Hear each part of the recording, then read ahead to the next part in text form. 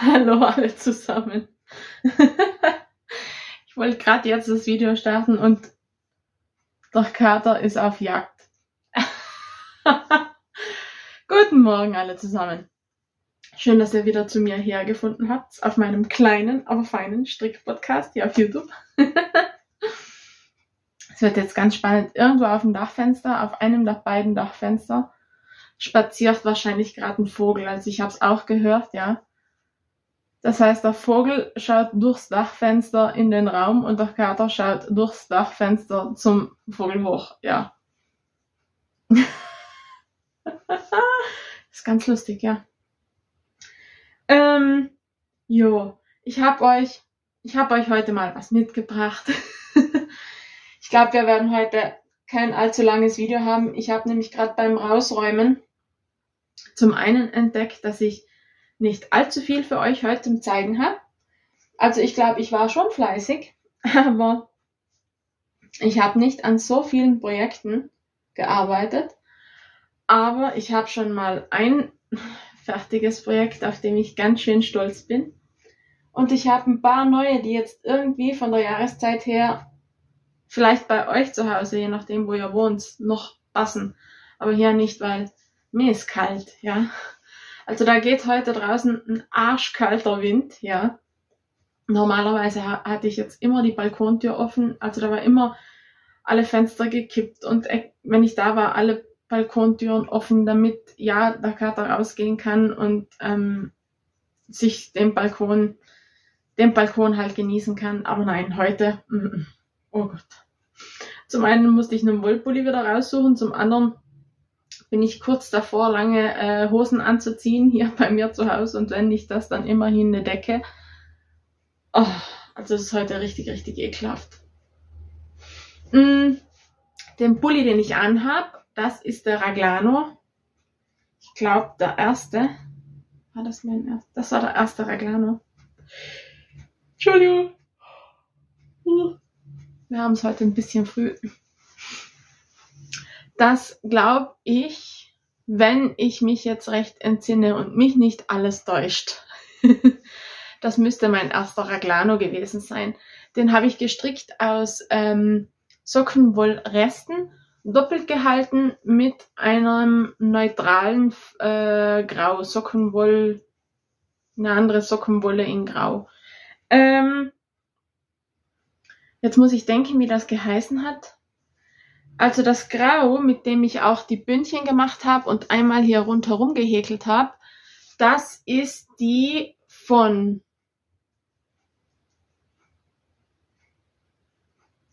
Das ist die Super Socks mit 100% Wolle. Die heißt, glaube ich, Super Socks Natural. Habe ich da noch was da? Oh, ich glaube nicht. Das müsste. Hm, ich, ich bin mir fast sicher. Ich glaube, ich kann mich da noch an die Etikette erinnern. Eine Langjahns Super Socks Natural, glaube ich, heißt die. Und die überzeugt dann halt einfach, weil das ist eine Sockenwolle aus 100% Wolle, ohne Poli. Und die müsste dann natürlich auch waschmaschinenfest äh, sein oder zumindest, zumindest waschbar in der Waschmaschine im Wollwaschprogramm, äh, weil es ist ja immerhin eine Sockenwolle. Und ja, das ist sie auch. Also die, das funktioniert auch, weil immerhin habe ich den Pulli, keine Ahnung, wie oft schon in der Waschmaschine gewaschen und der hält sich gut. Super möchte ich jetzt nicht sagen, aber hält sich gut. Also ich bin sehr zufrieden. Ähm, das war eben, ich hatte da drei, vier Knäuel von der und wusste dann, okay, ich möchte mit der irgendwas machen und dachte mir dann, dann kam irgendwie der Einfall für den Raglano, für so ein richtig, richtig kunterbuntes Ding. Also es ist ja schon alleine, ihr seht's ja, also es sind alles Sockenwollreste, den kennt ihr ja eigentlich eh schon. Das sind alles Sockenwollreste, die ich dann einfach so ganz gemütlich, wie sie gerade gekommen sind, angestrickt habe und als zweiten Faden ähm, dann den diese Sockenwolle, diese Natur-Sockenwolle benutzt habe. Ich habe da also den Faden doppelt gehalten. Mm, beide Sockenwollstärke für äh, oder vierfach Sockenwolle, Nadelstärke zweieinhalb, drei, was auch immer. und habe die dann eben doppelt verarbeitet. Und das ist einer meiner Lieblingspullis, weil der zu allem passt. Ja, also da ist ganz egal, äh, was ich sonst noch anhab, der passt immer dazu. Und eben, er lässt sich recht simpel in der Waschmaschine waschen. Er bildet ein bisschen logischerweise, also hier unter den Achseln und auch hier manchmal eben auch da. Das ist momentan sieht's eh nicht so schlecht aus.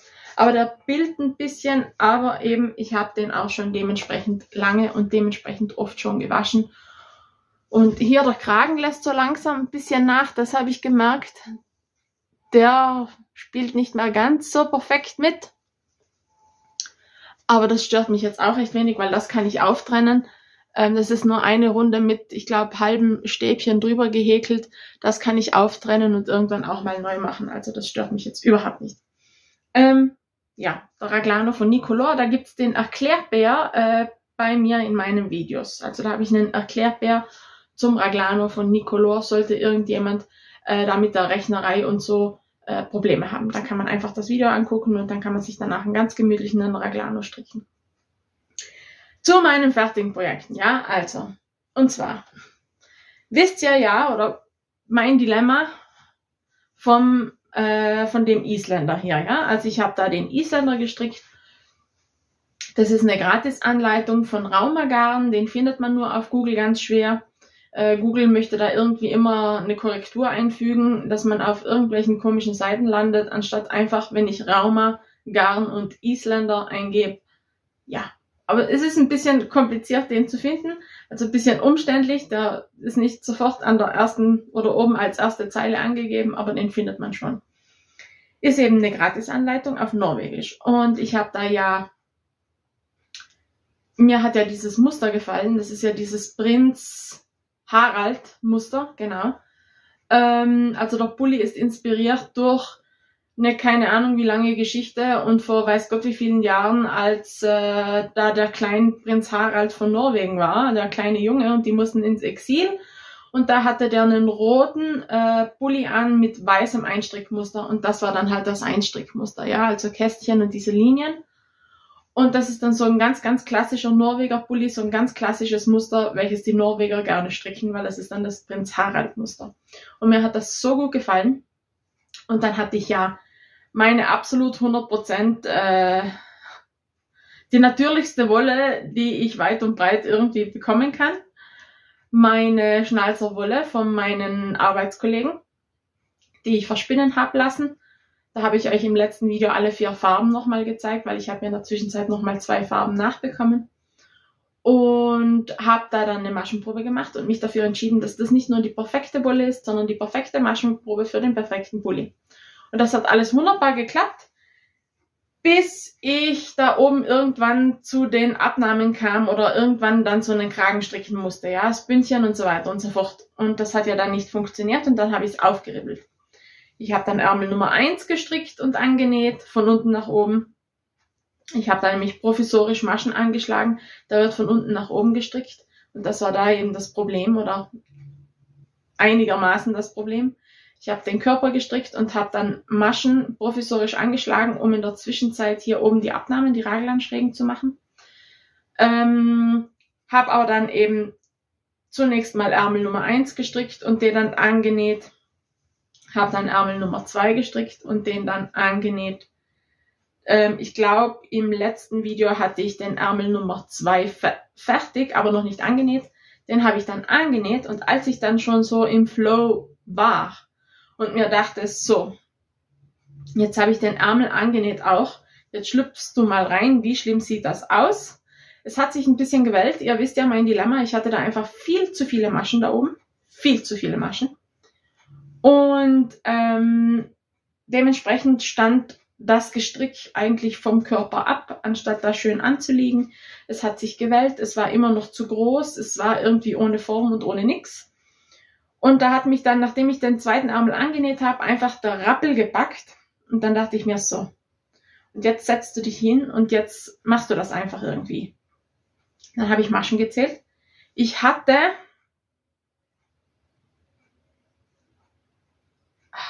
ich hatte ich glaube, ich hatte 260 Maschen Also es ist recht viel. Oh, wenn ich mich recht entsinne, waren das 260 Maschen, glaube ich. Oder waren es? Ach Gottchen. Nee, das waren nicht 260, aber das waren 200 etwas Maschen. Puh, wie viel waren das? Und ich dachte mir noch, ich muss mir das merken. Ich habe am Ende in zwei Runden plus ein paar verkürzte Reihen also da hinten sind ganz wenig verkürzte Reihen. Ihr seht das, dass da einfach der Streifen von, wo das Muster ist und bis der nächste weiße Streifen kommt, breiter ist als da vorne. Das sieht man schon, ja.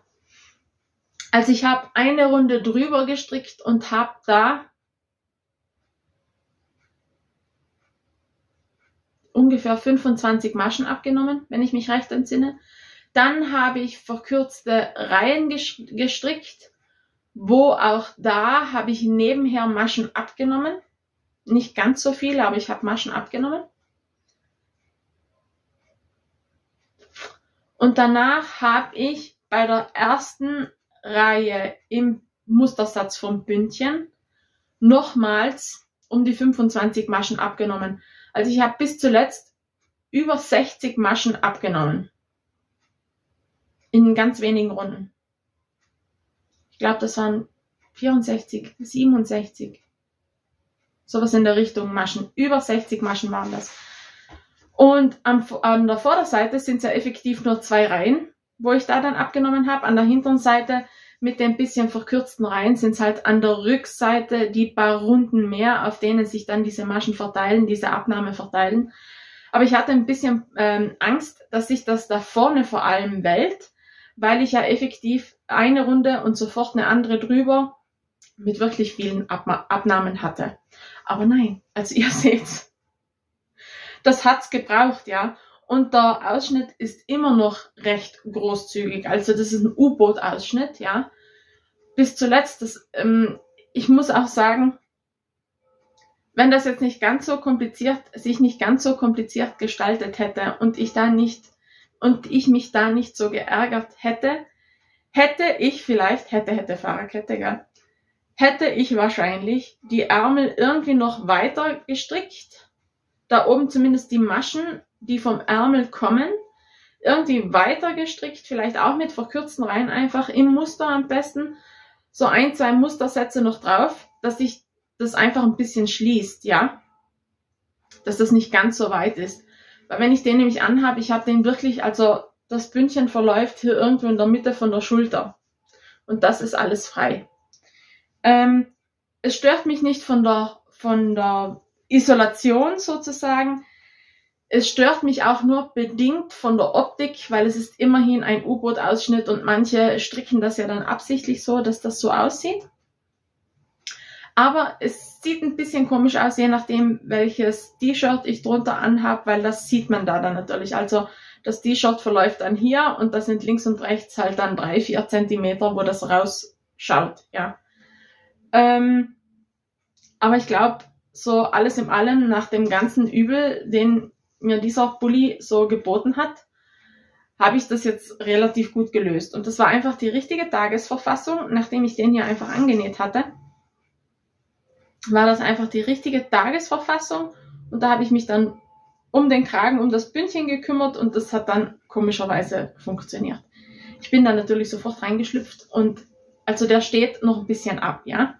Also nachdem ich hier die Maschen äh, abgekettet hatte, bin ich sofort reingeschlüpft, dann bin ich draufgekommen, dass ich die zu locker abgekettet hatte. Somit musste ich die Abkettreihe nochmal aufmachen und habe die dann wirklich ähm, jede Masche gut angezogen, damit es einfach noch mal ein bisschen zusammenzieht. Es ist jetzt immer noch etwas locker und ich bin beim Überlegen, ob ich da dann so einen Einzuggummi, irgendwie so einen ganzen, oder Nähgummi heißen die, die ganz, die dünnen weißen Gummis, wirklich irgendwie da oben noch befestige. Ich weiß nur noch, ich weiß nicht wie, also da fehlt mir jetzt noch der Input, da habe ich mir jetzt noch keine Gedanken darüber gemacht.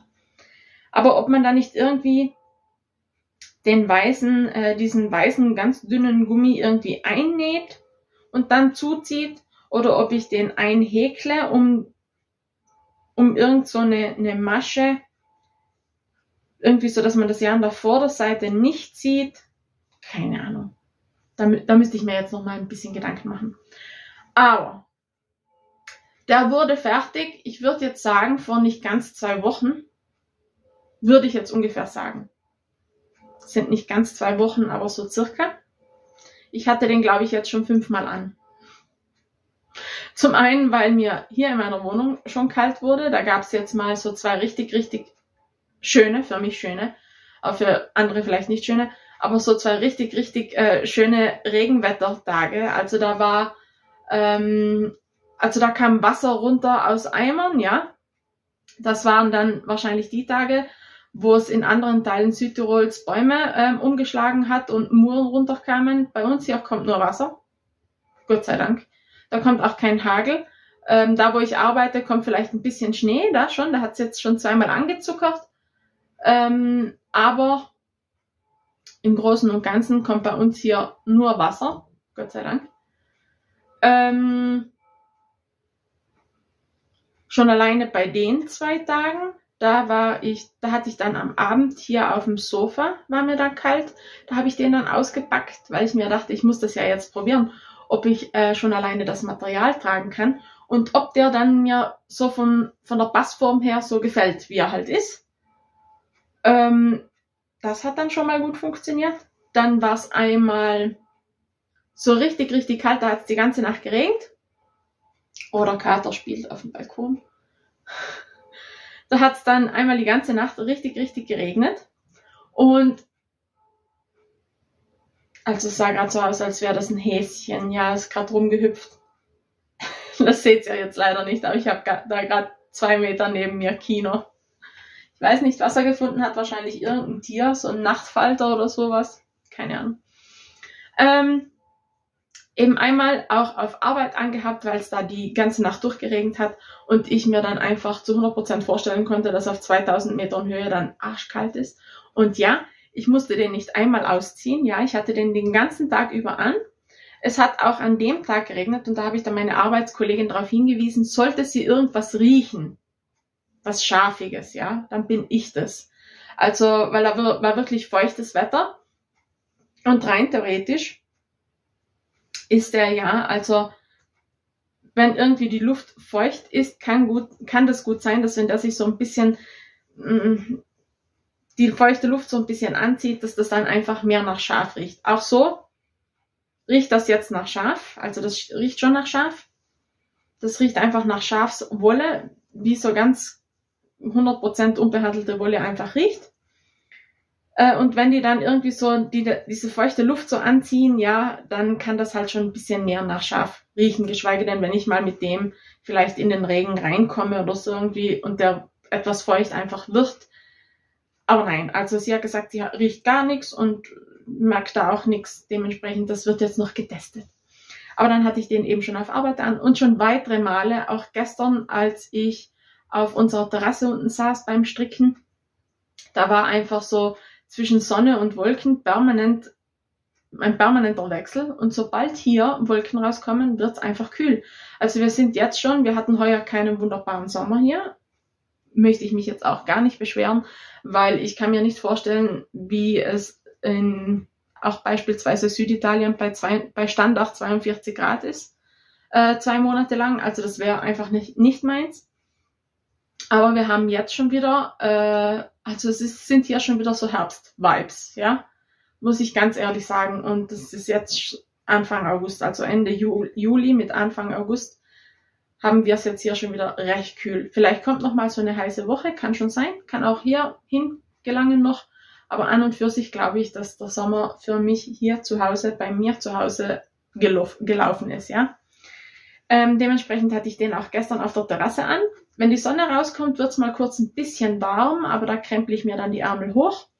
Ich kann den natürlich auch ausziehen, aber der hat ein wunderbares, wunderbares Klima. Also auch wenn es da ein bisschen warm wird, man fängt nicht sofort an zu schwitzen. Ja, also ich krempel mir die Ärmel dann einfach hoch und chopper mir die hoch und dann passt das schon wieder. Und umgekehrt, sobald dann äh, die Wolken wieder rauskamen oder die Wolken einfach die Sonne verdeckt haben, war das wieder Gold wert, ja.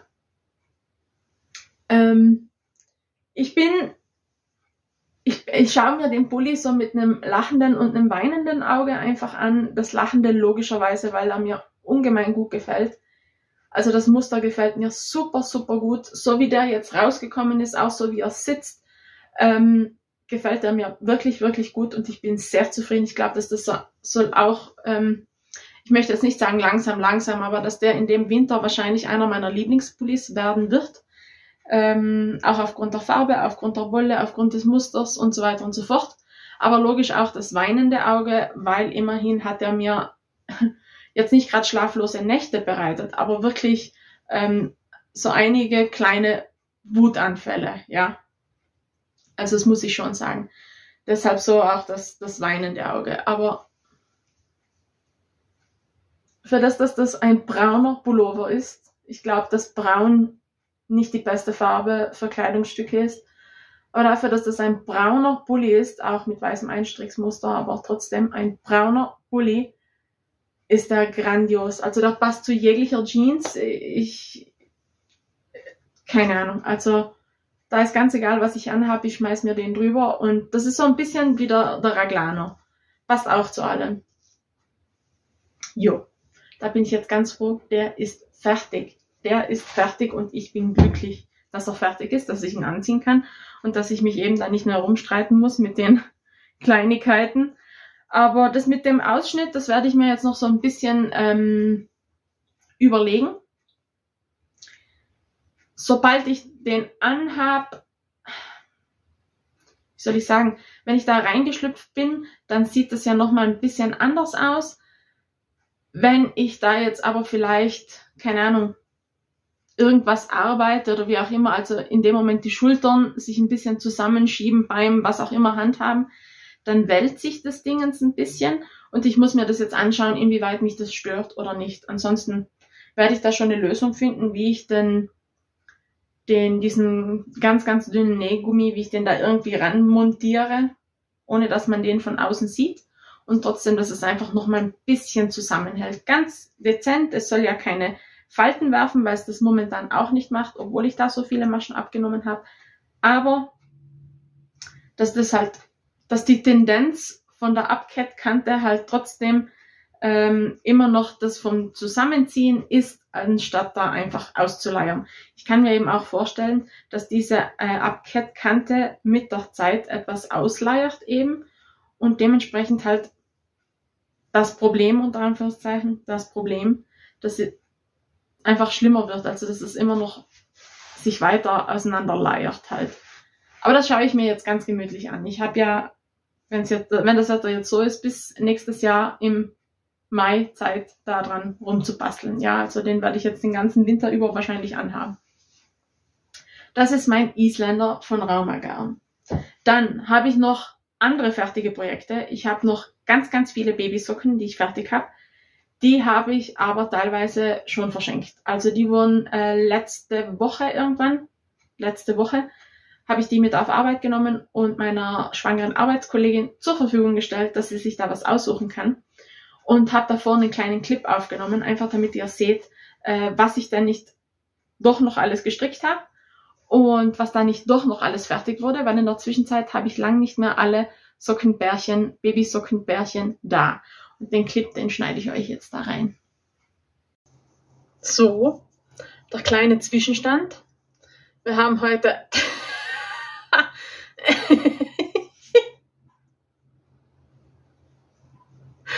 Okay, das war jetzt überhaupt nicht geplant, logischerweise. Katze macht, was sie macht.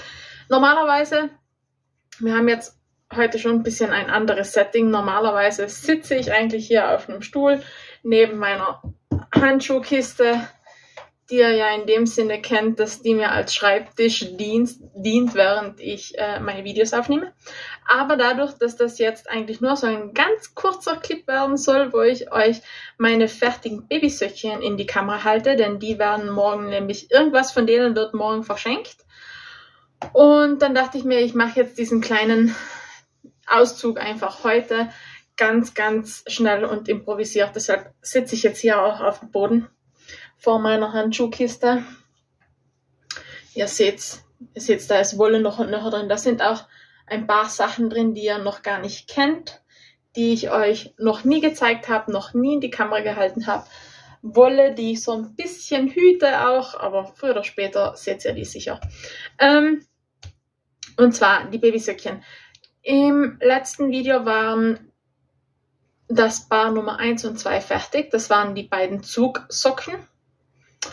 Und an Bar Nummer 3 habe ich angefangen. Ich weiß aber nicht, ob ich die erste Socke schon fertig hatte. Ich gehe mal davon aus. Ähm, auf alle Fälle haben wir jetzt beide Söckchen logischerweise fertig. Mit ganz viel Katzenhaar. Da muss ich danach nochmal drüber rollen. Das sind jetzt einmal die blauen Söckchen. Die gefallen mir sehr gut. Vor allem, weil das einfach ganz, ganz simpel ist mit einem eins rechts, eins links Bündchen. Ich mache da keine verschränkten Maschen, weil mir das irgendwie nicht gefällt. Keine Ahnung warum, fragt mich nicht. Aber normalerweise, wenn ich äh, rechts, rechts verschränkt und links stricke, dann sieht das irgendwie nach nichts aus. Und wenn ich einfach nur rechts und links stricke, dann sieht das bei mir irgendwie sauberer aus. Aber ja, das sind einmal die, die sind fertig. Dann war mir natürlich weiterhin lang, langweilig. Also habe ich nochmal Wolle rausgesucht und habe dann noch, oh Katzenhaar, und habe dann einfach nochmal ein paar ganz neutrale in grün. Hm. Es ist ein bisschen, wie soll ich sagen, es sieht ein bisschen mehr nach Moos oder nach Farn aus. Also es ist jetzt nicht so grasgrün wie in der Kamera, ja. Aber auf alle Fälle ein paar ganz, ganz simple grüne Socken und zwar mit Bündchen oben dran, einem 1-1 Bündchen. Und da unten habe ich dann 3-1 gemacht. Jo, das ist ein 3-1. Und das habe ich dann am Oberfuß weiterlaufen lassen. Das mache ich ganz gerne, einfach damit die Socke ein bisschen mehr die Form bewahrt. Habe ich auch hier gemacht. Jetzt kommt die Antenne. Hallo. Hallo. Hallo. Ähm, das habe ich auch bei den blauen da gemacht. Da ist unten auf die Sohle, die ist glatt rechts und oben ist es 1,1. Das ist mein Mikrofon. Dann, nach den grünen äh, Socken war mir immer noch langweilig. Beziehungsweise ich hatte immer noch Lust drauf, äh, Babysöckchen zu stricken. Dann habe ich mir nochmal einen Rest rausgesucht und das ist jetzt, das sind dann Regenbogensöckchen.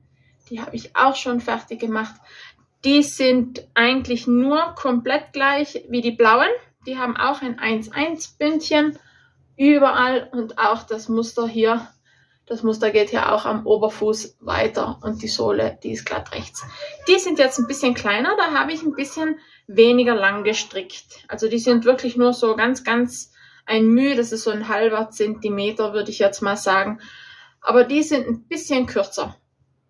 Die habe ich die habe ich gestrickt auf einer Hin- und Rückfahrt mit dem Bus von mir zu Hause zur Arbeit. Da hatte ich keine Lust drauf, das äh, Auto zu nehmen. Und dann dachte ich mir, ja, dann nimmst du da was zum Stricken mit. Und dann habe ich eine Socke, die ist bei der Hin- und Rückfahrt schon fertig gewesen. Und die zweite habe ich dann einfach danach angefangen. Da hatte ich dann keine Lust, im Bus die Maschen aufzunehmen. Beziehungsweise da vorne das Abketten ich kann das ja ähm, im Maschenstich abnähen, ja. Aber wenn ich keine Nadel zum Abnähen mit habe, wie mache ich das dann? Da muss ich es halt auf den Nadeln, mit den Nadeln abnähen sozusagen. Das ist ein bisschen komplizierter, da muss man ein bisschen mehr nachdenken. Wenn ich aber irgendwo ganz gemütlich sitze, dann schaffe ich das auch, ohne dass ich da eine Nähnadel habe. Also ist dann kein Problem. Aber im Bus ist das dann halt schon ein bisschen, da wackelt das und schuckert das und ja. Aber das sind dann einmal die hier. Die gefallen mir persönlich am besten bis jetzt, weil ich einfach die Farbe mag. Und ich glaube, ich selbst müsste sogar Socken in den Farben haben. Glaube ich. Und dann war mir immer noch langweilig. es war einfach so, die sind, also alle Söckchen hier sind einfach so ein wunderbarer Zeitvertreib, weil man da einfach so ganz gemütlich dran stricken kann. Die sind absolut schnell gestrickt und gleichzeitig muss ich, ich muss da jetzt nicht groß drüber nachdenken. Ich schlage bei allen Söckchen 40 Maschen an und stricke dann einfach ein Bündchen oder den, den Schaft runter, wie es mir gerade gefällt. Ob mit oder ohne Muster, je nachdem. Mache dann eine Käppchenferse dran, ganz, ganz simpel. Ich habe da noch nicht mal Zwickelabnahmen, also das geht sich bei mir wunderbar auf. Und stricke danach den Fuß und irgendwann eine Spitze, wenn mir vorkommt, dass die Socke eigentlich groß genug ist. Dementsprechend nach denen, äh, das waren jetzt das Bar Nummer 3, 4 und 5, gab es dann natürlich noch ein Bar Nummer 6. Und das war auch eine Restewolle. Ähm, das ist so eine Lana Grossa meilenweit, ich glaube mit Seide. Das wäre deren Sommersockengarn, ja. Und da habe ich, ähm, die Wolle habe ich benutzt für ein paar kurze Socken, Sneakersocken. Ich glaube, ja, mit einem erfundenen Muster. Also da habe ich mir einfach ein paar Zöpfe rausgesucht, einfach so ein bisschen was rumprobiert und habe da dann so ein Sneakersocken gemacht mit Zopfmuster oben auf dem Fuß. Und da ist natürlich einiges übergeblieben, denn wegen so ein paar Sneakersöckchen braucht man kein ganzes Knäuel. Und das ist jetzt so ein Resteknäuel, das in meinem Sammelsurium ist und das habe ich dann rausgesucht und habe die dann gestrick, gestrickt. Mir gefallen da die Farben sehr gut. Und jetzt, wo ich dann effektiv, also 6, 5, 4, 3 und natürlich habe ich das Bar Nummer 2 vom letzten Mal das Bar Nummer 1 auch da. Und das ist jetzt die ganze Kollektion, ja. Und also man weiß effektiv nicht, was es wird. Die Beschenkte möchte das auch nicht wissen, das respektiere ich natürlich. Ich persönlich würde den Affenkitzel nicht überleben. Aber ja. Und dementsprechend suche ich mir entweder was raus, was mir gefällt, wo ich glaube, es wird entweder ein Mädchen oder ein Junge, muss ich mir was überlegen. Oder ich bringe ihr alle sechs Bar und sie kann sich selbst was raussuchen. Das weiß ich jetzt noch nicht. Das, da habe ich jetzt noch keinen Plan. Ich glaube einfach, dass wenn man da so sechs Paar Socken vor oder ja vor sich her geworfen bekommt, ob man da dann sie würde sich sicherlich was aussuchen. Also daran würde es jetzt wahrscheinlich nicht scheitern. Aber ob sie dann wirklich, keine Ahnung, dann wissen, wüsste, was sie da am liebsten hätte, wo, keine Ahnung, ich, ich überlege mir das jetzt. Oder ich nehme einfach einmal was quietschbuntes und einmal auch was, keine Ahnung, was neutrales, vielleicht in, in Gelb, auch wenn ich Gelb jetzt als nicht so neutral empfinde, aber einfach zwischen ja quietschbunt und auch die, die hier quietschbunt, vielleicht irgendwas etwas eintöniges. Auch die blauen, die blauen sind ja also es ist jetzt nicht quietschbunt, da ist ein bisschen Farbverlauf mit dabei, aber das ist ja nicht quietschbunt. Aber auf alle Fälle, das sind jetzt äh, schon mal vier, vier fertige, vier fertige Projekte. Meine Güte. Und dann handelt es sich nur um die Söckchen hier. Ja, ja. Ähm, ja, die dürfen morgen mit und dann schauen wir mal, was sich die gute Arbeitskollegin aussucht. Da fällt mir jetzt noch was ein. Ich kann euch heute noch was zeigen. Und zwar habe ich heute was gestricktes an, ein gestricktes Sommershirt, ja. Man sieht, man sieht es schon, man kann es jetzt nicht ganz perfekt erkennen. Das ist das Thamnophis Tee von äh, More Thunder. Das ist Morgan, ich weiß nicht was, wie die Frau mit Nachnamen heißt. Da habe ich damals an einem Teststrick mitgemacht. War das ein Teststrick? Nein, das war ein Knit-Along. Das war ein Knit-Along, genau. Und zwar habe ich die Frau auf Instagram gefunden und die hat sowas von ähm, angenehme Videos gemacht über ihre äh, ja, Strickanleitungen, über ihre Designs. Und die war mir dann auf Anhieb sympathisch und die hat zu einem Knit-Along aufgerufen äh, von ihrem eigenen Design, das Thamnophis T. Und da habe ich dann mitgemacht. Also da konnte man die Anleitung kaufen. Da konnte man die Anleitung kaufen und dann ging es auch schon zwei, drei, vier Tage später los. Und da ich da relativ kurzfristig mir was an Garn raussuchen musste, habe ich mich äh, für die, das ist die Merino Extra Fine von Drops, das ist die für die Nadelstärke 4 mm. Die habe ich mir rausgesucht weil ich hatte da keine Möglichkeit, mir so schnell irgendein Garn zu organisieren. Und in meinem Sammelsurium habe ich zwar Sommergarne, aber meistens nie genug, ähm, damit da ein Shirt mit Ärmelchen dabei rausschaut. Und da ich mir da einfach, ich konnte mir da von der Mengenangabe nichts vorstellen. Ja, Mengenangaben, also es ist immer was, irgendwie so die Lauflänge oder das, was man so an Metern braucht, ist schon immer angegeben. Wenn da aber dann die Nadelstärke oder die Maschenprobe nicht ganz so perfekt stimmen, dann ist das auch schon wieder hinfällig. Und ich muss euch sagen, so einfach es für mich ist, für äh, Winterpullis die Lauflänge, die ich brauche, oder Lauflänge, die Meteranzahl, die ich brauche, ähm, für Winterpullis abzuschätzen. Also das kann ich richtig, richtig gut. Da bleibt manchmal schon was über, aber nicht extrem viel. Ja, also da bleibt dann vielleicht mal ein Knäuel über. Ja, jemand vielleicht sagt dann auch, ja, das Knäuel ist eigentlich schon genug, schon zu viel. Ähm, aber lieber habe ich das Knäuel, weil ich immer längere Ärmel brauche und je nachdem, wie sich die Wolle so ein bisschen verhält, ja, habe ich lieber das Knäuel als zum Spielraum. Aber so gut wie ich mh, mm, meine benötigte Menge für Winterpullis abschätzen kann, so schlecht kann ich die abschätzen bei den Sommershirts. Ganz egal, ob das ähm, wirklich Shirts nur mit Trägern sind oder ob das auch Ganz egal, ob Raglan oder Rundbasse mit ganz kurzen Ärmeln sind, wo ich an und für sich nicht nochmal den Faden ansetzen muss, sondern einfach in dem Moment, wo ich die Ärmel stilllege, ist der Ärmel fertig. Ab und noch schlimmer, und noch schlimmer ist es dann halt einfach, wenn ich da dann noch zwei, drei, fünf Zentimeter dran stricken muss. Ich hab, ich kann sowas von nicht abschätzen. Das ist ganz, ganz schlimm, weil ich äh, so einiges an Sommergarnen hier habe, die ich dann nicht benutzen kann für die Designs, wo es mir halt gerade oder die mir gerade gefallen und wo mir die Wolle da an und für sich oder das Garn an und für sich gut gefallen würden. Ich habe keine Ahnung, was ich da für ein Problem habe. Also vor allem, weil es eben bei den Winterpullis so einfach ist, aber ja. Und das einzige Garn, wo ich sicher mehr als genug da hatte, war eben dieses 100% Merino-Garn.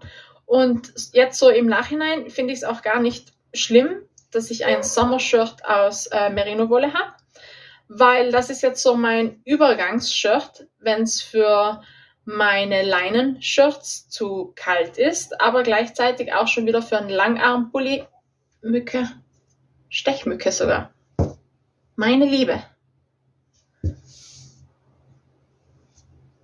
Irgendwann, irgendwann kriege ich dich.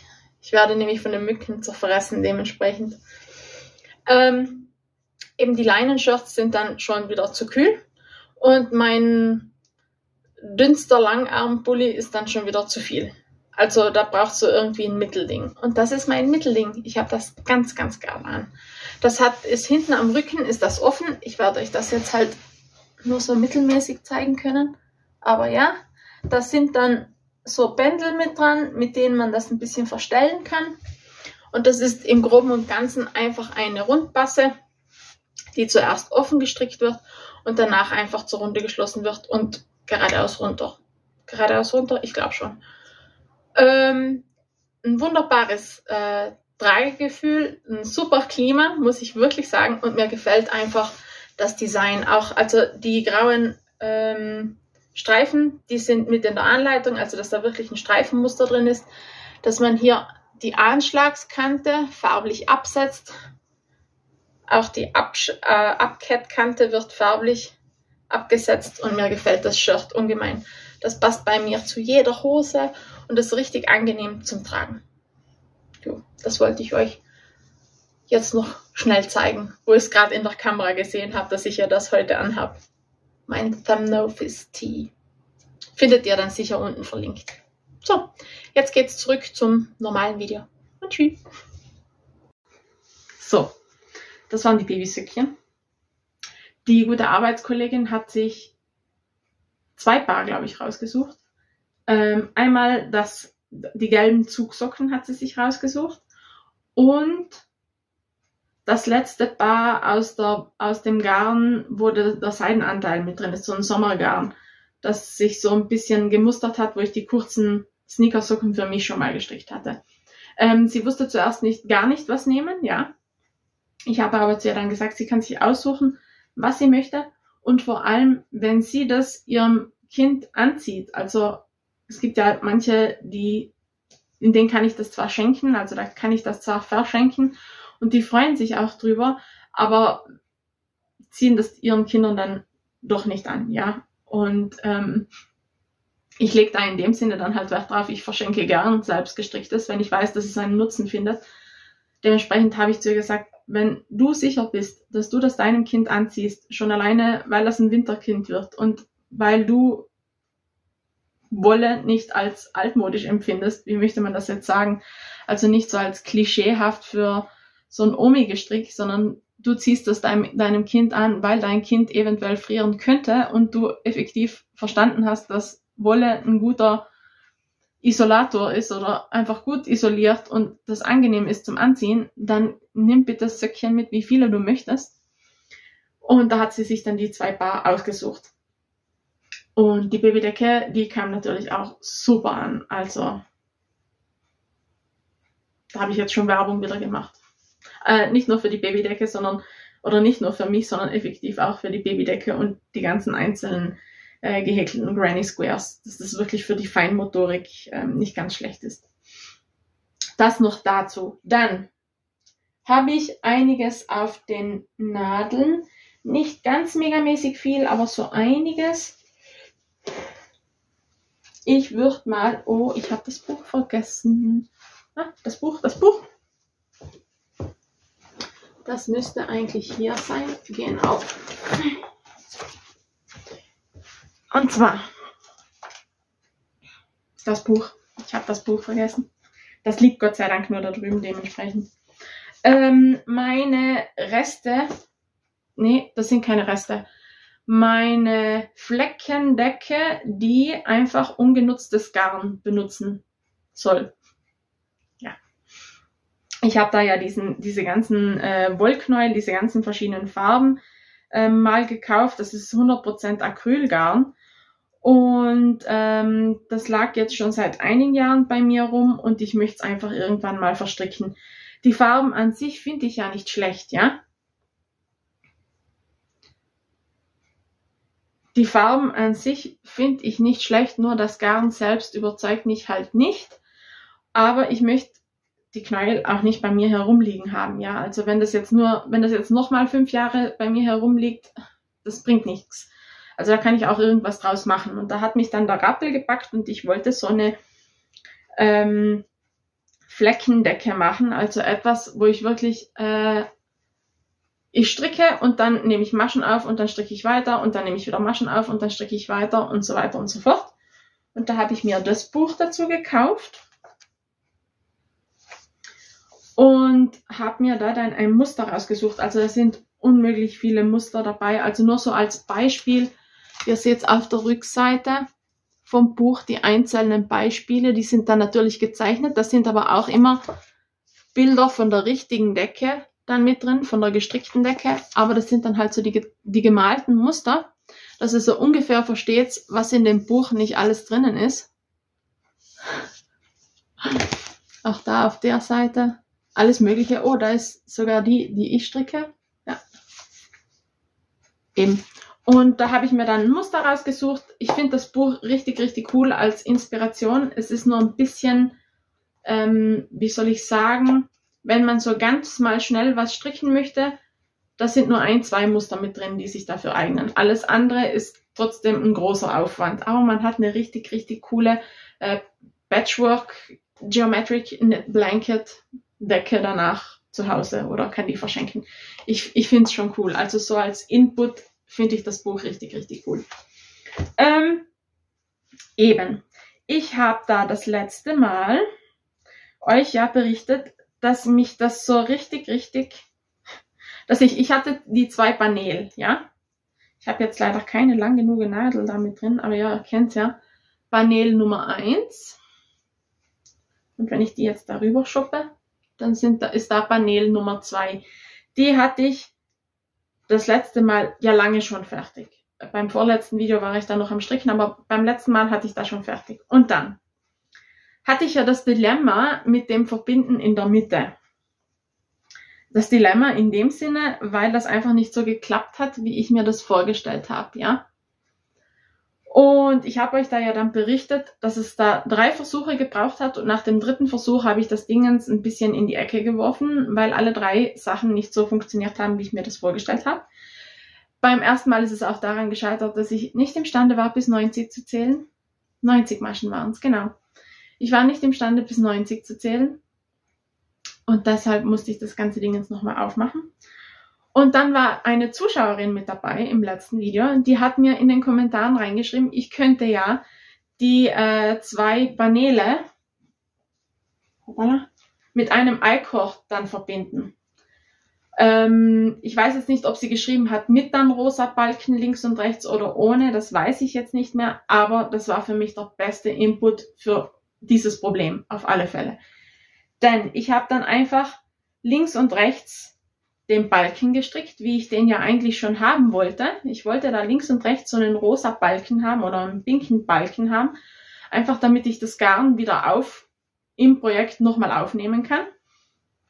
Habe ich da dann einen pinken Balken gestrickt, links und rechts, und habe dann die beiden Teile separat auf zwei Nadeln gestrickt, also schon alleine deshalb, damit mir nicht nochmal das Problem oder nicht nochmal der Fehler passiert, dass ich anstatt beide Seiten beide ähm, rechten Seiten, sondern einmal rechts und einmal links falsch zusammenstricke.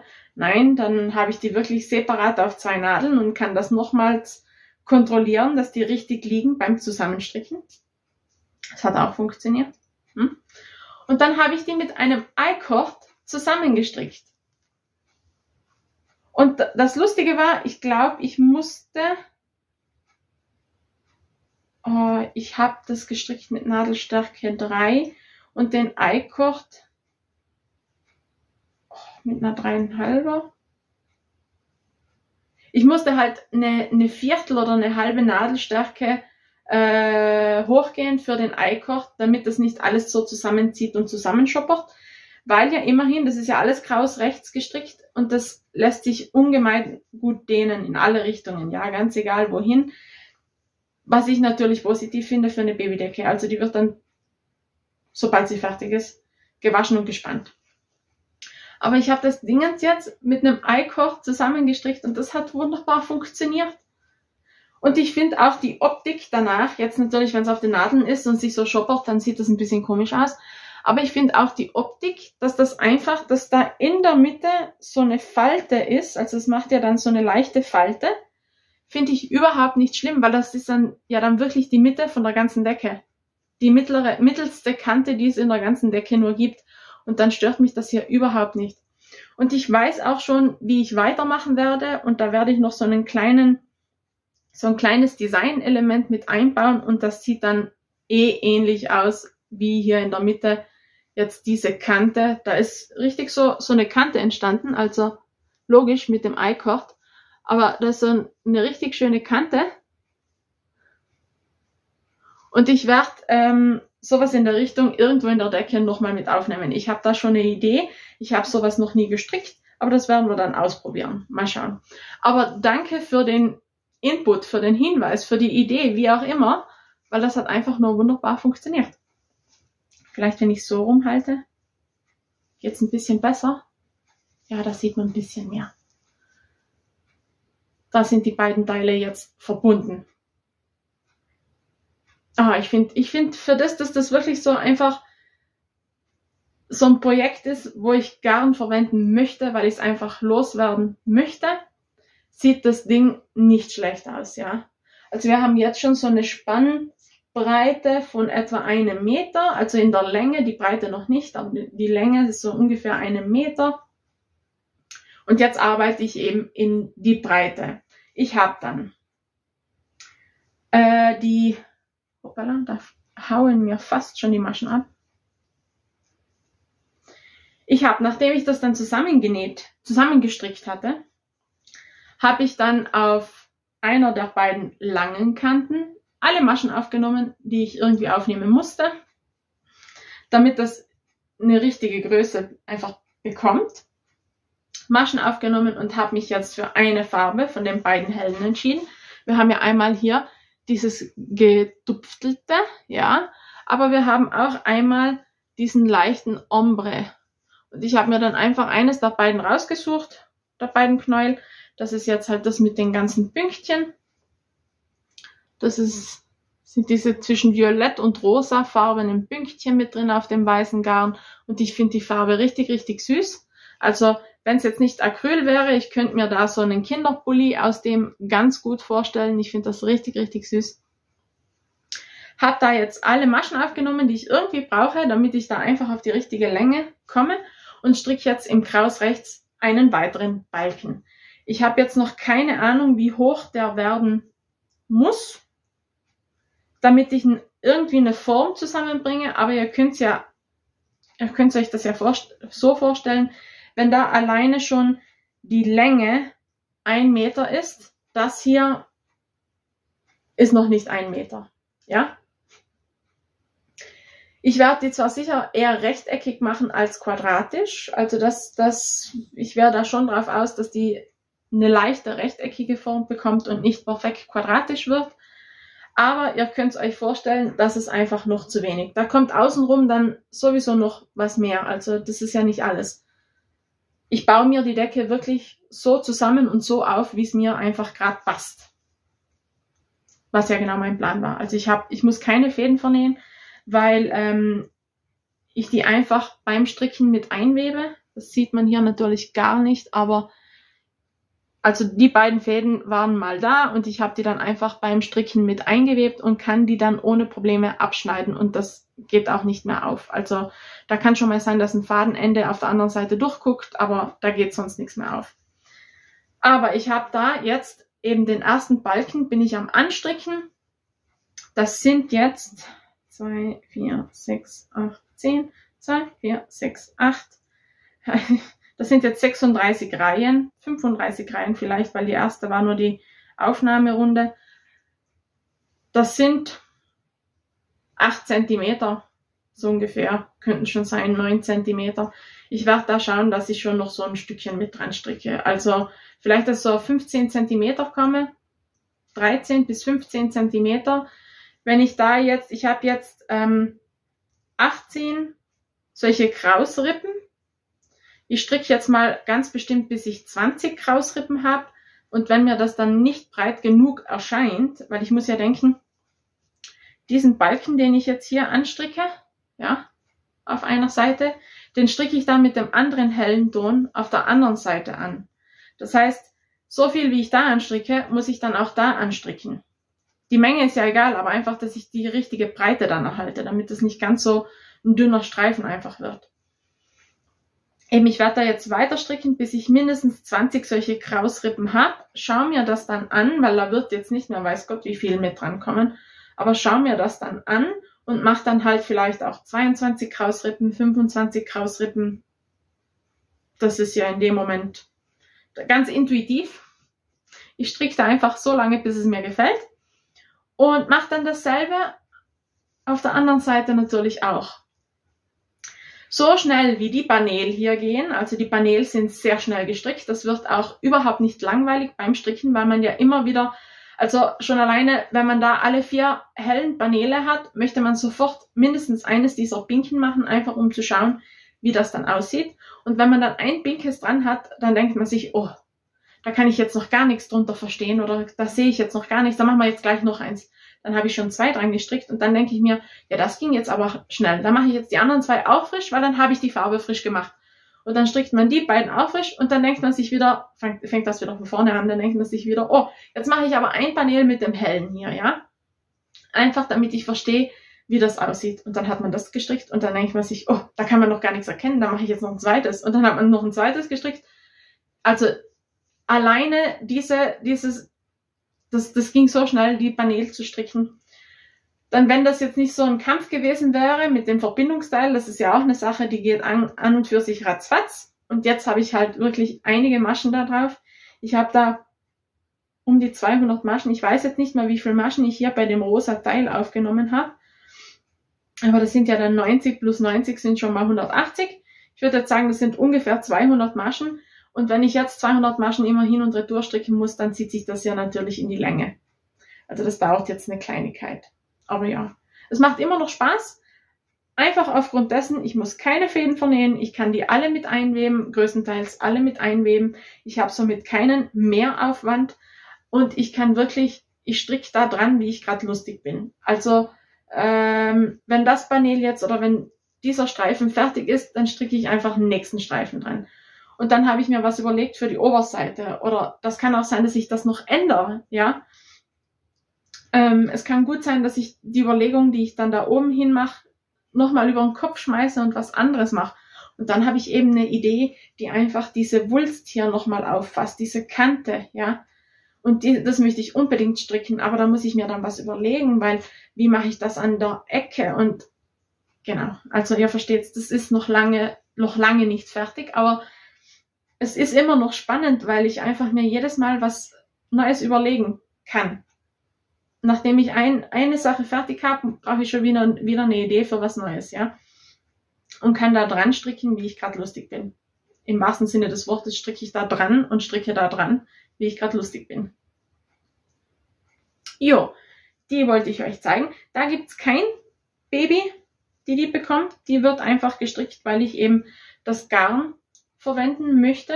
Aber ich bin mir sicher, früher oder später gibt's da irgendwie da irgendwo ähm, im Bekannten- und Verwandtenkreis jemand, der äh, schwanger ist und somit kann die dann ganz feuchtfröhlich äh, verschenkt werden.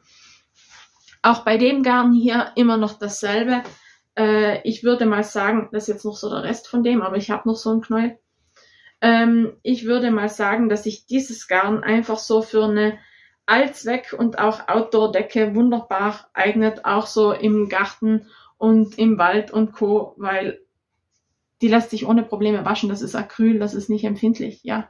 Also wenn ich die jetzt bei uns in, in den Garten schmeiße, auf die Wiese schmeiße und dann fünf Ameisen drauf rumlaufen und dann keine Ahnung und dann wird nebenher vielleicht noch irgendwie gespielt oder so und dann wird die dreckig, dann habe ich kein Problem, die einfach bei 30, 40 Grad, was auch immer, in die Waschmaschine zu schmeißen und muss da keinen Gedanken darüber verlieren, ob das Material das überlebt oder nicht.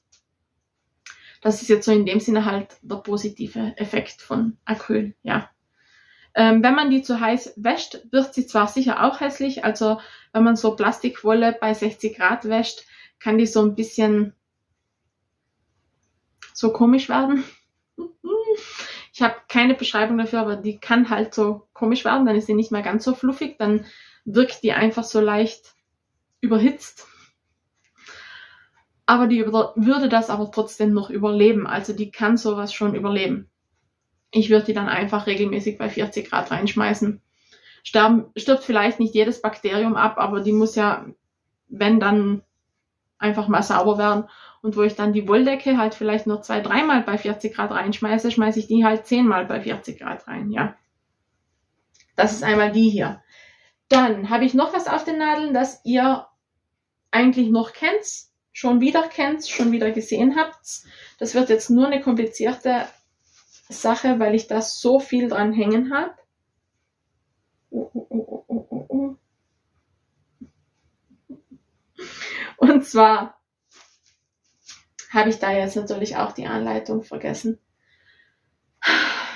Heute ist, heute ist Sonntag bei mir, ja. Und heute habe ich einfach frei. Ich habe da schon noch eine Anleitung, die habe ich vergessen auszudrucken, ja. Und das ist richtig, richtig schade, weil das Shirt ist wunderschön. Aber ihr könnt euch das Shirt anschauen und schaut euch dann bitte die Anleitung auf Ravelry an. Das ist mein äh, Cropped Lace. Lace, Cropped, Cropped Lace Shirt. Tee. Von Annie Lupton. Lupton, Lupton. Immer dasselbe. Ich weiß nicht, wie man den Namen noch ausspricht. Und ähm, dieses Shirt ist ja eigentlich ein Ufer von mir vom letzten Jahr. Und ich habe das wieder rausgekramt, weil es bei uns ja die, diese eine Woche, wo ich Frau Hund bei mir hier hatte, ja, also die habe ich euch ja im Video erwähnt, weil Frau Hund war da. Ähm, in der Woche, wo Frau Hund bei mir da war, hatten wir einen richtig, richtig, da hatten wir eine Woche lang richtig, richtig warmes Wetter. Also da hatten wir laut meinem Auto waren bei mir da um die 30 Grad, zwischen 28 und 30 Grad. So richtig schönes Sommerwetter, dass wenn man in der Sonne sitzt oder wenn man auf den Berg hochgeht, ist es richtig, richtig warm und man ist, man muss immer noch Sonnencreme auftragen. Aber wenn ich einfach nur bei uns auf der Terrasse sitze, dann kann ich die Beine vielleicht so schön in die Sonne halten und die werden dann effektiv braun. Ähm, aber es ist jetzt nicht übertrieben heiß. Also da, das kann man halt aushalten. Aber es ist ein schön, ein schönes Sommerwetter, einfach so richtig schöne Temperaturen, richtig angenehm. Das war die, die eine Woche. Die eine Woche, wo wir richtig, richtig schöne Temperaturen hatten. Ansonsten waren halt noch ein, zwei Tage so vereinzelt verteilt, wo wir richtig schöne Temperaturen hatten und der Rest war halt so lala, möchte ich jetzt fast sagen. Also es regnet hier zurzeit fast jeden Tag mindestens einmal und wenn nicht am Tag, dann halt in der Nacht. Aber in der Woche, wo ich ja dann so viel ähm, Sonnenstunden sozusagen abbekommen habe. Um die Zeit rum hatte ich dann Lust auf Sommergestrick, ja. Und ich wusste, ich habe ein, UFO in meinem Sammelsurium, eben dieses äh, Lace-Shirt. Und ähm, ich möchte eigentlich weitermachen, weil mir das gar nicht so gut gefällt. Und jetzt habe ich noch ein ganzes Knäuel, das ich euch in die Kamera halten kann, weil das letzte Mal hatte ich kein ganzes Knäuel mehr. Und ich habe mir da dann auch die Banderole aufbewahrt. Ich habe es zwar im letzten Video drunter hingeschrieben, aber trotzdem, ich mag, ich mag dieses Garn ganz gern. Das ist der Schoppel Cotton Ball und das ist 100% Baumwolle. Und die hat eine Lauflänge, ich glaube von 420 Meter müssten es sein. Wo steht das jetzt nochmal? Da steht das. Also das ist ein 100 Gramm Knäuel, reine Baumwolle und die hat eine Lauflänge von 420 Metern. Das heißt, das wäre eine Sockenwollstärke sozusagen, nur dass sie eben Baumwolle ist. Das ist recht dünn, aber nicht allzu dünn. Also ich kann das ohne Probleme mit einer Nadelstärke 3 mm verarbeiten und es sieht gut aus. Also das Maschenbild und das entstandene Textil, das ist wirklich super. Und da ich das letzte Mal nicht wusste, was das für eine Farbe ist, war das schon schier so ein ganz bisschen, aber das sieht man nicht so gut auf der Kamera. Also das sieht's mehr aus, als würde das einfach einen anderen Ton haben, weil es in die andere Richtung gewickelt ist auf dem Knäuel. Aber nein, das changiert so ein bisschen in sich selbst. Und da habe ich mir dann beim zweiten Knäuel hier extra die Banderole oder das Etikett aufbewahrt, damit ich euch das zeigen kann. Jetzt schaue ich nur, ob sonst noch was Interessantes draufsteht, was ihr unbedingt wissen müsst, aber nö, ich glaube nicht. Europäisches Baumwollgarn aus griechischem Anbau. Wasser- und ressourcenschonende Herstellung in der EU. Finde ich sehr cool. Ich sage, ich, mir, mir gefällt das. Also ich bin für Sommerkleidung, bin ich kein Baumwollfan, weil ich glaube, weil die Baumwolle, die ich ansonsten kenne, ist einfach nur starr und störrisch und zu dick zum Verarbeiten. Aber das hier ist richtig, also das ist genial. Die Farbe heißt Sand am Meer und ihr seht da oben am Bildchen, ja, man sieht es nicht ganz so gut, aber man sieht es hier am, am Bildchen, am Farbeispiel, die hat dann immer mal wieder so dunkle Streifen im Strickverlauf, ja, im Muster. Also die changiert so zwischen einem, einem ganz hellen Grau zu einem etwas, einem leichteren Ton dunkler einfach und changiert so ein bisschen hin und her. Und logisch, wenn ich das verstricke und dann zudem habe ich noch ein Lochmuster damit drin, sieht man davon nicht allzu viel, aber das hat so ein ein schönes Farbenspiel einfach im Gestrick. Das gefällt mir ganz gut. Das ist eben der Schoppel Cotton Ball. Ähm, ich habe jetzt eben das zweite Knäuel anfangen müssen. Das wird mir auch mehr als, also da bleibt sicher was über, weil ich bin jetzt so weit, dass ich zu viele Nadeln in dem Gestrick drin habe und ich jetzt auch nicht weiß, wie ich euch das am besten zeige. Ich habe mir dann nämlich was überlegt, was ich jetzt mit den ähm, Trägern mache oder wie ich das weitermache, weil ich halte mich dann natürlich wieder nicht an die Anleitung, immer dasselbe. Immer dasselbe bei mir. Und zwar, das letzte Mal war ich schon am Vorderteil, da hatte ich äh, die Maschen vom Rücken stillgelegt, die hängen hier auf der Nadel, habe dann Maschen abgekettet unter der Achsel und habe dann mit dem Vorderteil angefangen. Und es sieht so aus, als hätte ich da eine Masche verloren.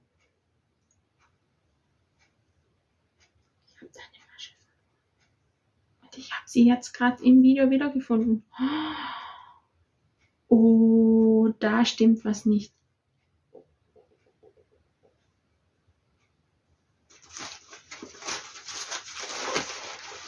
Was für ein Zufall ist das bitte?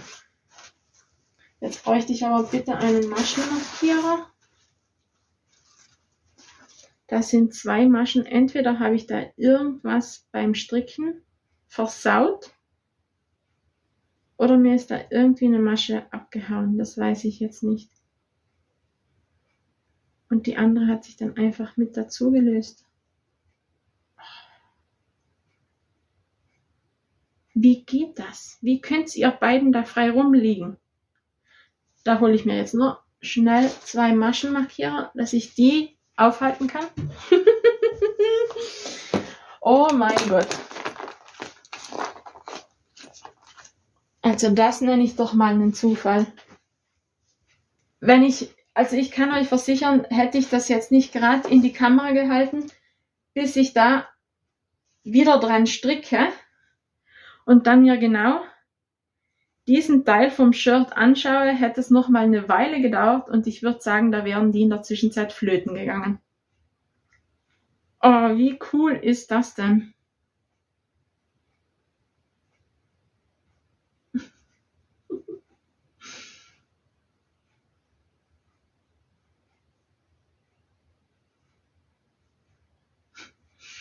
Ich habe auch keine Ahnung, was hier passiert ist, weil mir ist der Mustersatz immer aufgegangen. ich habe keinen blassen Schimmer. Da machen wir jetzt noch einen zweiten mit rein, damit das ja hält.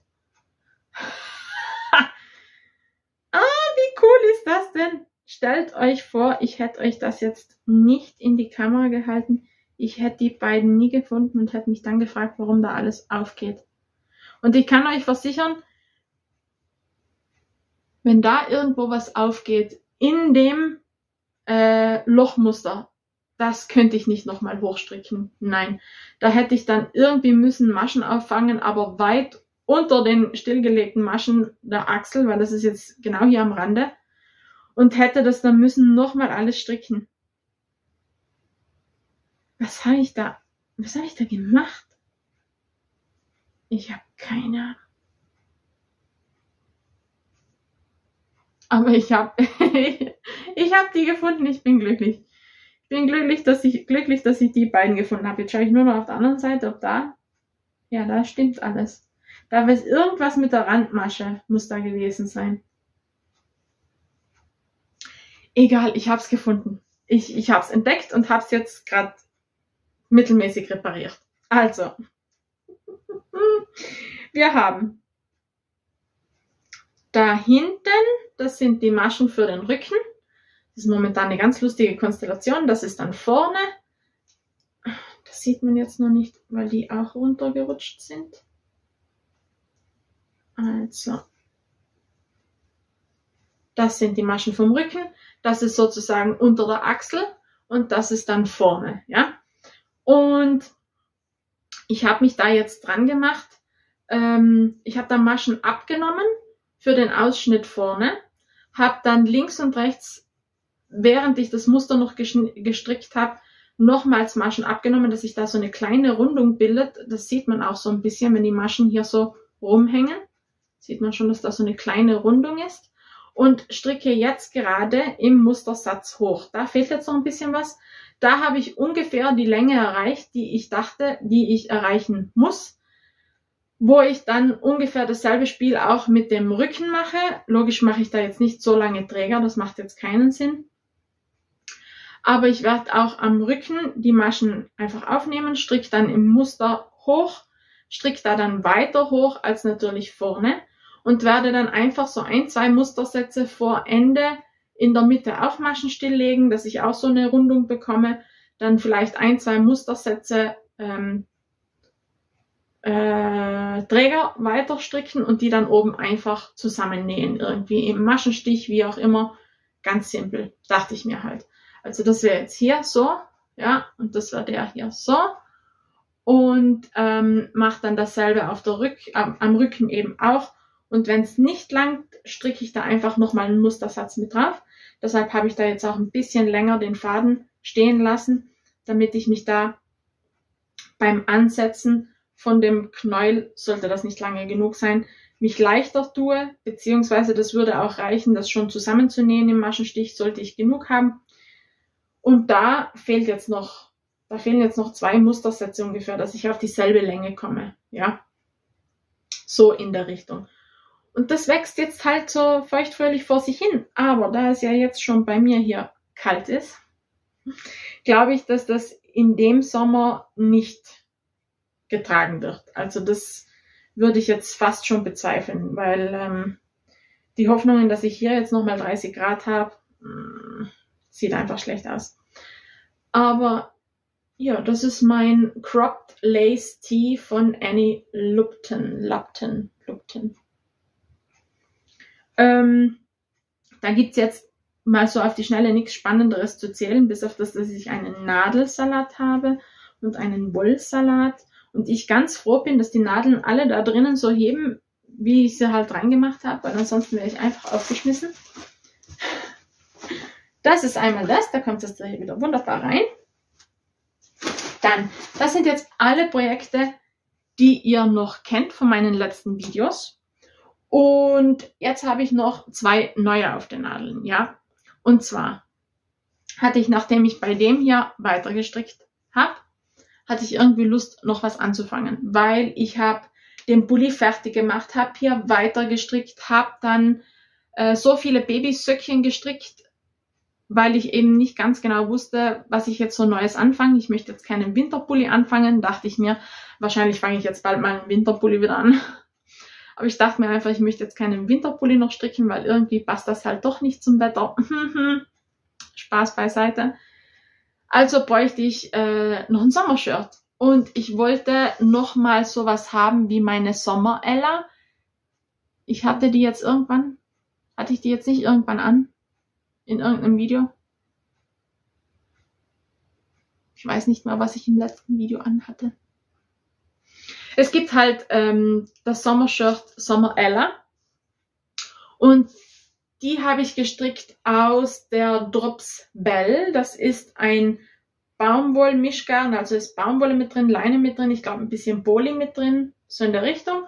Und die hat, äh, das Shirt hat da oben so ein Blättermuster. Und das ist eines meiner Lieblings-Sommershirts, weil ich habe selten sowohl wie gestrickt wie auch gekauft. Ich habe selten ein Shirt, das so gut sitzt und so angenehm zum Tragen ist, ja.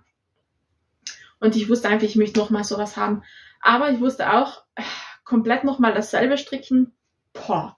Mir gefällt das Muster zwar und ich weiß, ich hatte richtig, richtig Spaß beim Stricken. Aber nochmal komplett dasselbe. So richtig, richtig nochmal dasselbe stricken. Also ich meine auch das Muster. Und dann dachte ich mir, ja, du findest sicher irgendwas anderes. Irgendwas anderes muss da doch noch irgendwie wo irgendwo rum sein. Dann bin ich auf Ravelry versunken. Ich habe mir nebenher Sommergarne noch bestellt. Ich habe äh, von Sandness äh, noch was bestellt. Ich habe nochmal diese Drops Bell bestellt. Ich habe von BC Garn die Soft Silk oder Silk Soft, wie auch immer. Das ist 100% Seide. Ich habe noch nichts draus gemacht. Also das ist in der Zwischenzeit alles so Garn, dass ich so ein bisschen angesammelt habe, bestellt und angesammelt habe weil ich ja eigentlich noch ein, zwei Sommershirts stricken möchte. Ich weiß jetzt schon, da wird sich einiges auf nächstes Jahr verzögern, weil es einfach schon so kühl ist. Aber ähm, jo, etwas habe ich eben auch schon angefangen. Und zwar habe ich ähm, die Drops Bell in so einem Bärenton gekauft. Ja, und der Bärenton an und für sich ist jetzt nichts für mich. Also das ist mir eigentlich schon fast zu pink für mich, aber es passt einfach zu meinem Hautton. Also ich habe ähm, ich habe ein gekauftes Shirt in so einem ähnlichen Farbton und das ist auch eigentlich meines eines meiner Lieblingsshirts, weil das zu jeder Jeans passt. Diese kräftige, warme Farbe passt irgendwie zu jeder Jeans, die ich habe. Und ähm, passt auch zu meinem Hautton irgendwie wunderbar und zu den Haaren und so weiter und so fort. Es gibt manchmal einfach Shirts, ganz egal, ganz egal ob gekauft. Es gibt manchmal einfach Oberteile, ganz egal ob gekauft oder gestrickt. Ähm, die einem einfach mehr zum Leuchten bringen. Ja, sagen wir es mal so. Das ist dann diese Farbtheorie und da gibt's dann immer wieder so komische Videos äh, mit den ganzen Farben, die da um einen so rumgelegt werden. Und ich weiß halt, dass die Farbe, auch wenn ich jetzt kein, nicht der allzu größte Fan bin, weil ich bin, bin kein Pink-Fan, aber wenn ich nicht der allzu größte Fan bin, dass diese Farbe mir gut steht. Und ich habe die dann gekauft hab mir die zwar schon auch ein bisschen mehr rötlich vorgestellt, laut Foto. Jetzt ist es halt wirklich so ein Bärenton. Ähm, aber ich dachte mir, nee, das, das, ich probiere das jetzt aus. Ich habe auch ein dunkelblau bestellt, ein richtig, richtig dunkles dunkelblau. Und das war mir für diese Idee an Sommershirt einfach zu dunkel. Und somit habe ich mich dann eben für die entschieden, für diese Farbe. Ich bin auf Ravelry versunken. Ich habe, glaube ich, insgesamt fast eine Woche gebraucht, um mich für ein Design zu entscheiden. Also es war wirklich eine schwere Geburt, muss ich wirklich sagen. Und ich habe dann eine Maschenprobe gemacht und mich dann für ein Shirt entschieden und habe das Shirt dann angeschlagen. Ja. Habe das Shirt dann angeschlagen und ähm, wie soll ich sagen? Ich konnte dann nicht mehr aufhören zum Stricken und wenn ich mich jetzt nicht gezwungen hätte, an was anderem weiterzumachen, wäre das wahrscheinlich schon fertig. also es macht richtig, richtig Spaß, dieses Shirt. Das heißt Maven Top. Und ihr wisst logischerweise, ich verlinke euch das unten in meiner Infobox. Da verlinke ich euch alles, was ich euch irgendwie verlinken kann. Aber ich habe vergessen, die Anleitung auszudrucken. Ich habe mir die nämlich runtergeladen und sofort angefangen zu stricken und habe das dann alles übers Handy gemacht. Normalerweise habe ich die ausgedruckte Version lieber, weil ich mir dazwischen auch mal ähm, Notizen hinschreiben kann oder wenn ich irgendwas ändere oder irgendwas ankreuzen, unterstreichen, wie auch immer. Und das hat aber so Spaß gemacht, da bin ich nie dazu gekommen, diese, diese Anleitung auszudrucken, weil das Handy hat gereicht. Aber meine Maschenprobe hat nicht perfekt übereingestimmt mit dem, was die Anleitung angibt. Ähm, ich glaube, ich habe da eine Maschenprobe von 19 Maschen auf 10 Zentimetern und die Anle in der Anleitung, glaube ich, sind es 22, 24 Maschen, sowas in der Richtung. Also die würden halt, ich stricke das mit einer 4 mm Nadel und ich glaube, die würden ihr Shirt mit einer 3,5er stricken, ja. Aber dieses Garn, diese Bell von Drops, ich habe die ja eben schon verstrickt und da weiß ich ganz genau, ich kann das mit einer 4 mm wunderbar verstricken. Und auch das Maschenbild, das gefällt mir ganz gut. Also da, das passt so, wie es ist. Dementsprechend wollte ich da auch nicht die halbe Nadelstärke runtergehen. Dann habe ich mir das umgerechnet. Ich habe dann halt äh, die Größe kleiner angesch angeschlagen, weil ich ja schon mit weniger Maschen ähm, auf die gleiche Größe komme. Hab da dann aber nicht bedacht, also ich habe da dann feuchtfröhlich vor mich hingestrickt und da werden dann halt immer in den regelmäßigen Abständen Zunahmen gemacht und habe dann erst festgestellt, als ich, wie war das? Also ich hätte noch dreimal zunehmen müssen, bis ich auf meine Endmaschenzahl gekommen wäre mit Ärmel und Körper und zweitem Ärmel, ja.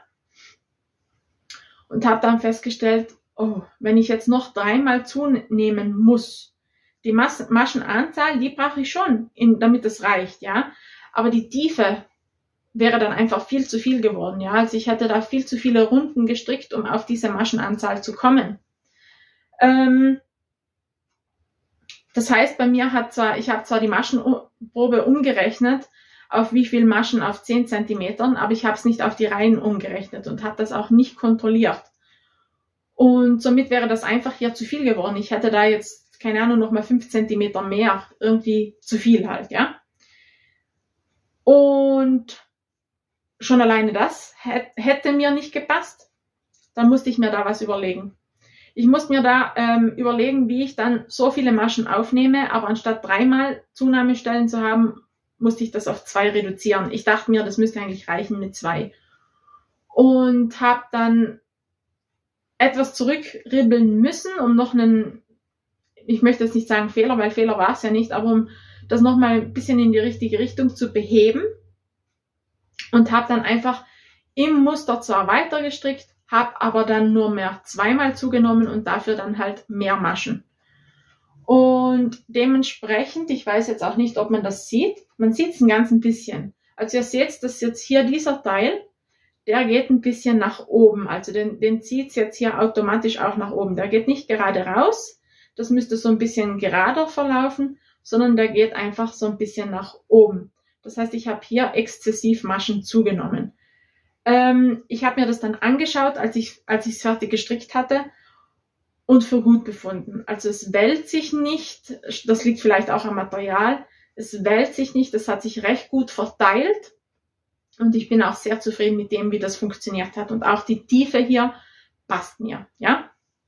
Somit konnte ich da ganz gemütlich weiter stricken. Ich habe dann auch, ich habe auch noch was geändert an der Anleitung, wo ich mich nicht an die Anleitung gehalten habe und das war sofort schon die Anschlagskante. Ich habe da, ähm, also man schlägt x Maschen an. Ich weiß jetzt auch auswendig nicht mehr, wie viel das waren. Man schlägt x Maschen an, strickt dann ein Bündchen und sofort nach dem Bündchen werden nochmal Maschen angeschlagen und dann startet erst das, das Muster. Also da werden, da werden schon sofort nach dem Bündchen Maschen ähm, aufgenommen damit das sofort schon breiter ist. Aber wenn ich nur die Maschen eingeschlagen hätte, wie das ganz zu Anfang angegeben war, also die wirklich nur die Anschlagskante, dann wäre das ein bisschen eng geworden. Und dann habe ich es auch, auch ausgerechnet mit der Maschenprobe, wie viel Zentimeter das gegeben hätte. Und ich glaube, da wäre der Kragen wirklich da so um den Hals rum gewesen, ja.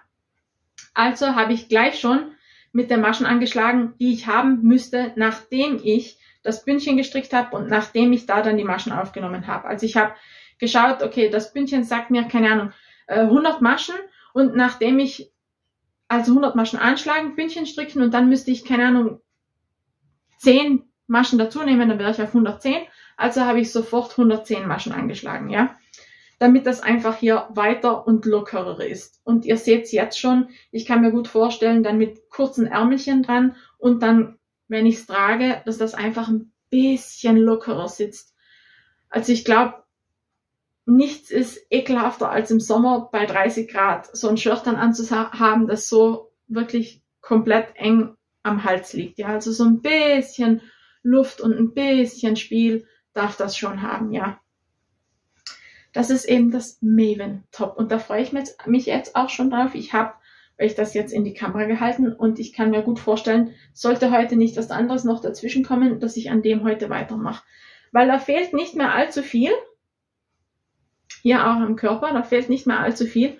Oh, das, oh, das blendet. Meine Güte, die Farbe blendet.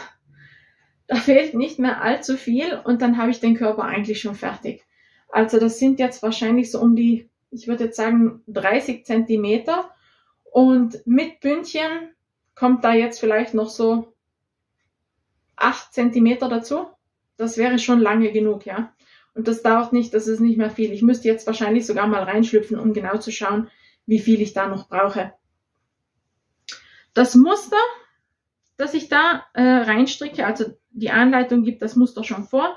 Erschreckt euch nicht bezüglich der Katzenhaare, die ihr seht sind einfach überall. Dieses ähm, Muster gibt die Anleitung schon vor, also dass man da immer solche Krausrippen mit reinstrickt.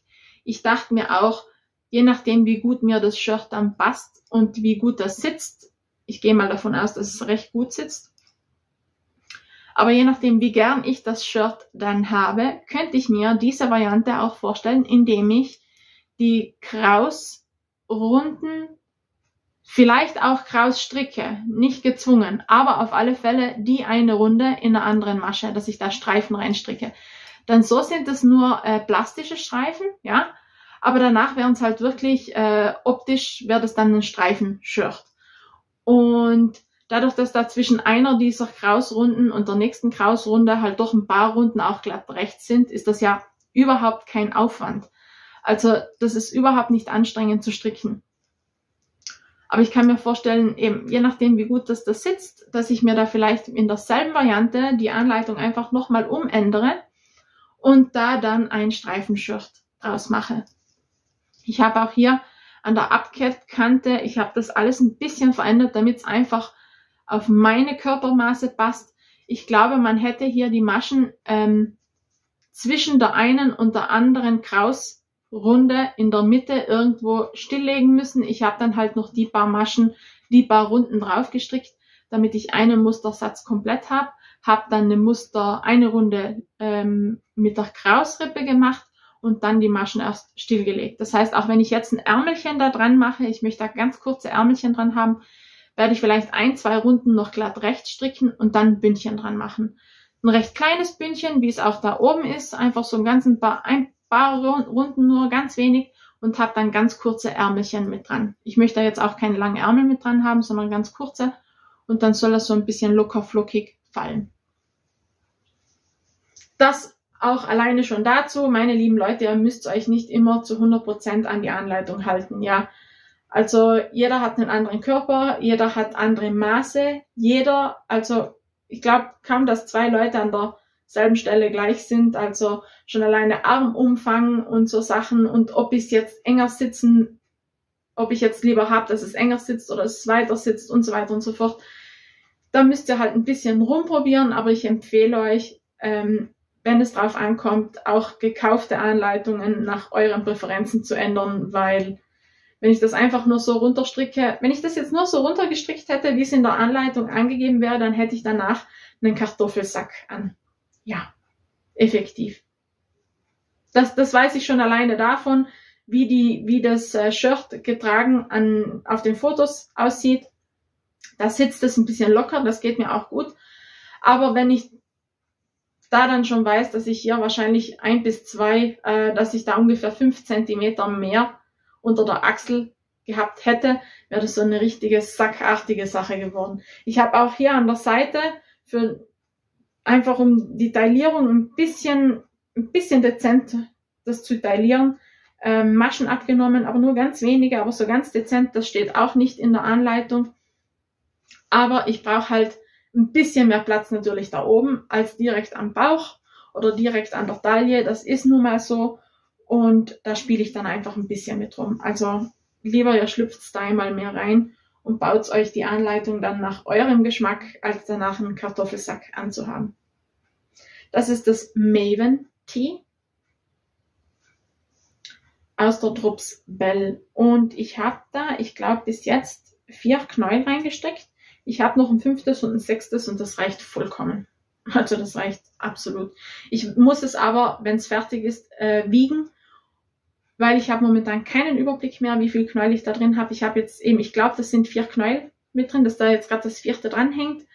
Es wäre aber interessant zu wissen, ob es effektiv schon vier sind oder ich das momentan nur das dritte ist. Deshalb ganz zu Ende muss ich das wägen, weil ich habe von der Drops Bell und von der Sandness Line, die komplett dasselbe Garn ist, also nur Info am Rande, wer ähm, einen etwas kleineren Geldbeutel hat, ähm, was in dem Moment ja überhaupt nicht zu bewerten ist. Aber wenn jemand vielleicht wirklich beim Garn und Wolle kaufen ein bisschen auf den Geldbeutel schauen muss, ihr könnt euch die Drops Bell kaufen.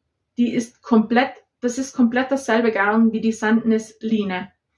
Also die haben die komplett selbe Zusammenstellung und die Fäden sehen auch komplett gleich aus. Der einzige Nachteil, bei Drops habt ihr lange nicht so viele Farben wie bei Sandness. Und trotzdem muss ich sagen, also bei Sandness kostet das Knäuel, glaube ich, zwischen 4,50 und 5,50, so ist in der Richtung. Vielleicht verlangt je nach Online-Shop auch einer mal 6 Euro. Und die Bell von Drops kostet halt 1,50. Also wirklich so als Info am Rande. Ich habe es wirklich kontrolliert, weil ich war schockiert, als ich mir diese äh, Sandness Line eben gekauft habe und gesehen habe, also mir kam der Faden schon bekannt vor, also die, das Garn, der Faden, ich dachte mir, das sieht komplett gleich aus. Und danach habe ich die Etiketten verglichen. Ja, also auch die Zusammenstellung ist komplett dieselbe. Da zahlt sich nicht aus, das teure Garn zu kaufen, wenn ich es auch günstiger bekomme. Außer ich brauche eben irgendeine bestimmte Farbe, die da eben Drops dann halt nicht hat. So als Info am Rande. Mm, das war das hier.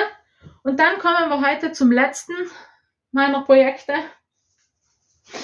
Weil, wie gesagt, ich habe ich hab zwar schon so einiges gestrickt und einiges waren dann eben auch Babysöckchen, die nicht lange dauern und immerhin habe ich so einige Paar fertig bekommen. Aber ich habe dieses Mal an etwas weniger Projekten gestrickt, aber dafür bin ich halt da ein bisschen weitergekommen. Kommt mir zumindest vor. Und zwar habe ich, nachdem ich dieses äh, Maven Top angefangen habe und da eben eine ganze Woche auf Reverie unterwegs war, so ungefähr, ich war wirklich tagtäglich auf der Suche nach irgendeinem Input, habe ich natürlich auch vieles anderes gefunden. Meine Güte. Also die ganzen Projekte in der Warteschlange bei mir auf Reverie, also das wird, also das ist, das ist surreal, surreal. Also so viel, so viel Lebenszeit habe ich nicht, um das alles zu stricken, ja. Aber natürlich, wenn ich da auf der Suche nach ähm, einer Anleitung bin, die sich für das jeweilige Garn eignet, komme ich natürlich auch zu Anleitungen, die sich nicht für das jeweilige Garn eignen, aber Entschuldigung, aber ich habe ja ein riesiges Sammelsurium da und habe richtig, richtig viele Garne da. Und da lässt sich dann auch, wenn mir mal ein Shirt gefällt oder ein Bulli gefällt, auch das richtige Garn dazu finden. Ja, ich habe schon allein für den Winter, ich habe so viel Wolle da in äh, Pullover Quantität. Das ist, das ist, das ist lächerlich, ja. Das ist schon fast zum Schämen, aber ja. Und so ähnlich geht's mir dann auch mit den Sommershirts. Und ich habe dann das hier gefunden. Ja, das ist das Julie Summer Tank. Logisch ist das jetzt nicht wieder absolut gekroppt und so kurz möchte ich das nicht haben. Ich hätte da schon gerne, dass es zumindest bis in die Nähe des Gürtels und auch ein bisschen drüber reichen würde, ja. Aber das ist das Julie Summer Top. Julie Summer Tank von Quasi gerade heißt es, heißt der Online-Shop oder heißt äh, die Designerin auf Ravelry. Und ich finde, also mir gefällt, mir gefällt da oben der Ausschnitt, dass der ein Bündchenmuster hat, der rahmt das Ganze irgendwie gut ein. Das Muster hier direkt vorne ist jetzt nicht unbedingt interessant, tut dem Ding aber auch nicht weh. Also es sieht ganz gut aus, finde ich wirklich. Mir gefällt hier diese, ähm, diese beiden Reihen mit Lochmuster. Die gefallen mir gut. Das sind so wirklich so als Abschlusskante irgendwie. Auch hier das Kraus wieder mit dieser Lochkante oder Lochreihe. Ich finde das sehr süß. Das wirkt irgendwie so einrahmend. Keine Ahnung, ob für den Körper oder vom Shirt. Keine Ahnung. Und dieses Fru-Fru da unten mag ich auch ganz gern. Ähm, ich bin ansonsten überhaupt kein solcher ähm, Fru-Fru-Typ. Also ich habe keine Shirts mit Fufu. Ich habe, ich heiße das immer Fufu. Das ist so die, die, italienische Variante, ja. Also der Italiener sagt, würde dazu auch sagen Fufu. Zumindest wenn ich da jetzt sage Costa und Fufu, der Italiener versteht, was ich meine. Ähm, ich habe kein Shirt, keinen Bulli, kein gar nichts mit dem, aber ich habe ähm, die Brooklyn Blouse von Mezzo Makes aus Leinen habe ich die gestrickt und die hat am Ende unten auch solchen Fufu und auch an den Ärmelchen den Fufu. Diese Rüschen. Na, Rüschen sind das auch nicht. Ah, sind es Rüschen? Egal. Das ist ein Fufu. Jetzt wisst ihr, das ist Fufu. und ähm, ich habe mich diesen Sommer wieder neu in das Shirt verliebt. Ich hatte, hatte das Shirt letzten Sommer schon an und war da begeistert, weil das passt einfach zu meiner Körperform. Also das sitzt mir einfach richtig, richtig gut. Das setzt mich auch unter Anführungszeichen in Szene. Jetzt nicht im, im irgendwie überheblichen Sinne, aber es gibt halt einfach Shirts, die sehen an mir dann aus wie ein Sack und es gibt dann halt wieder Shirts, die sehen dann halt nicht aus wie ein Sack. Und das eine Shirt ist ähnlich wie die, das mit der Sommer-Ella, das sitzt dann einfach so, wie es sitzen soll und das ist richtig angenehm zum Tragen. Und das hat diese Fufu genau auf der richtigen Höhe und überspielt somit auch manchmal meine Frühlingsrolle. Ja, wenn die Frühlingsrolle eventuell auch zum Winterspeck wird und so weiter und so fort. Also ja, und die überspielt das recht gut. Und ich war da ähm, positiv überrascht, als ich das im Spiegel dann gesehen habe und habe mich dann wieder neu in das Shirt verliebt. Also das hat mir vorher schon gefallen, aber jetzt gefällt es mir halt wieder so in der Richtung. Und als ich dann dieses Tanktop hier gesehen habe und dachte, oh, das mit dem Frufru, das steht mir ja eigentlich ganz gut oder nicht so schlecht. Ich müsste nur das ganze Ding ein bisschen länger machen einfach, weil so baufrei muss das bei mir schon gar nicht sein. Ich möchte auch nicht, dass die Lochreihe noch zu nahe am Busen sitzt. Also das muss auch nicht sein. Ähm, ich kann mir vorstellen, dass wenn ich das Muster da oben einfach um zwei, drei Mustersätze Wiederholungen verlängere und dann diese Mustersatzrunde mit dem Lochmuster weiter unten sitzt, also in dem Sinne am Rande vom BH, vom, vom ähm, wie heißt's? Das Eisenteil, was da halt mit rein gearbeitet ist, ja, da einfach drunter und das dann drunter weiterläuft, dass das ein bisschen besser auf meiner Taille sitzt. Ja. Aber das ist jetzt das Julie Summer Tank. Da müsste auch noch ein Foto drin sein von der Rückseite. Ich versuche es zu finden.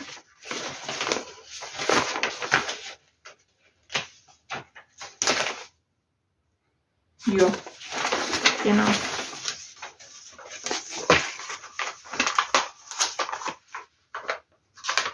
ist jetzt halt ein kleineres Foto, aber einfach, dass ihr euch das ungefähr vorstellen könnt, wie das dann hinten aussieht. Ja, das ist mega, mega kurz. Also es sieht mehr aus wie so ein Sport-BH, so in der Richtung. Das ist mega kurz. So möchte ich das gar nicht haben. Aber egal, Gott sei Dank, wenn man sich was selber strickt, kann man es auch so machen, wie man es gern möchte. Aber ihr seht, wie hier der Rücken aussieht. Also hier dieses Rippenmuster wird dann auf dem Rücken weitergeführt. Da hinten kommt dann wieder dieses Karo-Muster, ja. Und ich habe eben diese Anleitung gefunden und dachte mir, oh mein Gott, das möchte ich gerne, gerne haben. Jetzt muss ich nur schauen, wo ich jetzt gerade nochmal bin. Hier an dem.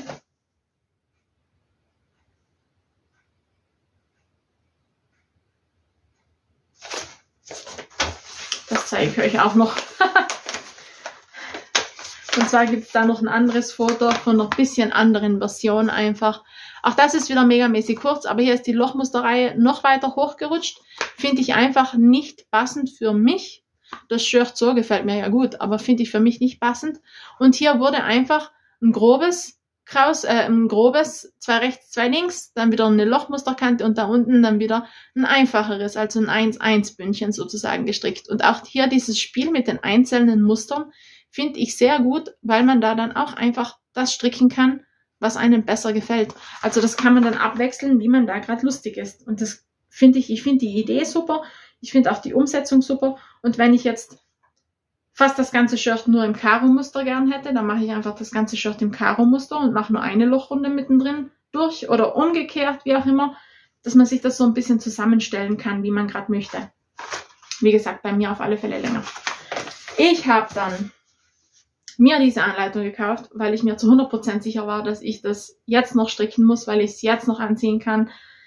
Das fällt, wie gesagt, wahrscheinlich ins Wasser. Aber ähm, da war dann die zweite Frage, welches Garn nehme ich dafür? Ich habe ähm, für die angegebene Nadelstärke laut Anleitung müsste das mit 3 mm, glaube ich, gestrickt werden und keine Ahnung wie viel Maschen auf 10 cm ich dachte mir dann, ja, so ein dünnes Garn, boah, da wird's halt, das wird ein bisschen durchsichtig, ja. Sieht man auch an den Fotos. Zum einen. Zum anderen rechnet die Designerin, das schreibt sie auch vorne schon gleich mit rein. Ich, mir passt das persönlich nicht, aber jedem das seine. Da ist der Hinweis mit drin, Achtung, in diesem mm, Strickoberteil wird die Elastizität vom Material, aus dem man das strickt, mit einberechnet oder legt man Wert drauf. Das ist halt ausschlaggebend, ja. Also das heißt, dass laut Anleitung wird das Kleidungsstück Stück sehr viel kleiner gestrickt, als man es bräuchte. Also wirklich mit sehr viel Negative Ease, weil man davon ausgeht, dass das Material, aus dem das gestrickt wird, so elastisch ist, dass es sich dann an die Körperform anpasst. Das geht mir ja gut, wenn da Negative Ease ist oder wenn das irgendwie angegeben ist. Aber meine lieben Leute, ich kann, also nicht jeder kann dasselbe Garn benutzen. Nicht jeder kann, wenn er auch ein anderes Garn benutzt, einschätzen, wie elastisch das dann im Strickteil selbst ist. Also ich empfinde das als nicht ganz so ähm, professionell für eine Kaufanleitung. Das ist jetzt so meine kleine Kritik am Rande. Also, mm, mm, mm, mm, mm.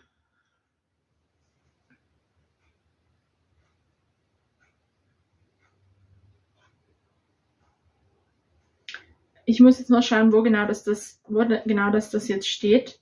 Ich würde es euch gerne vorlesen. Mm. Puh. Steht das in der Maschenprobe?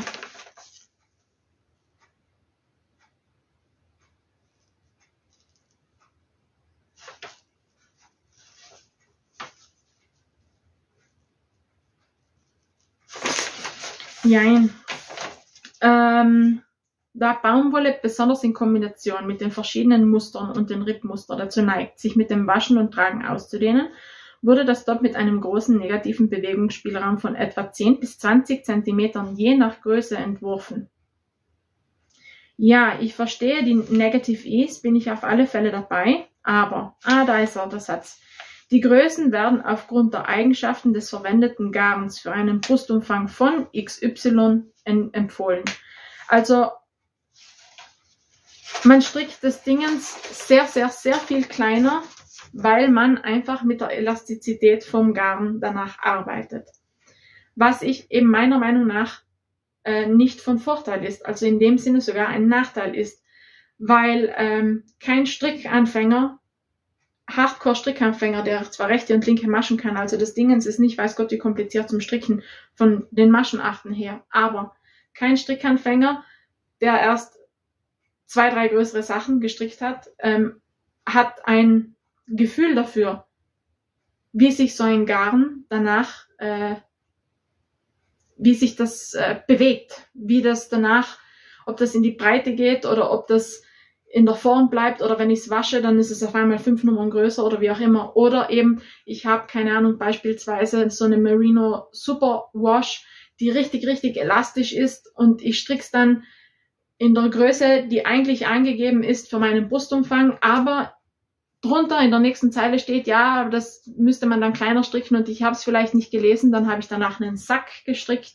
der zuzüglich zu dem dann beim Waschen auch noch auseinander geht ich finde das ein bisschen kompliziert, ja.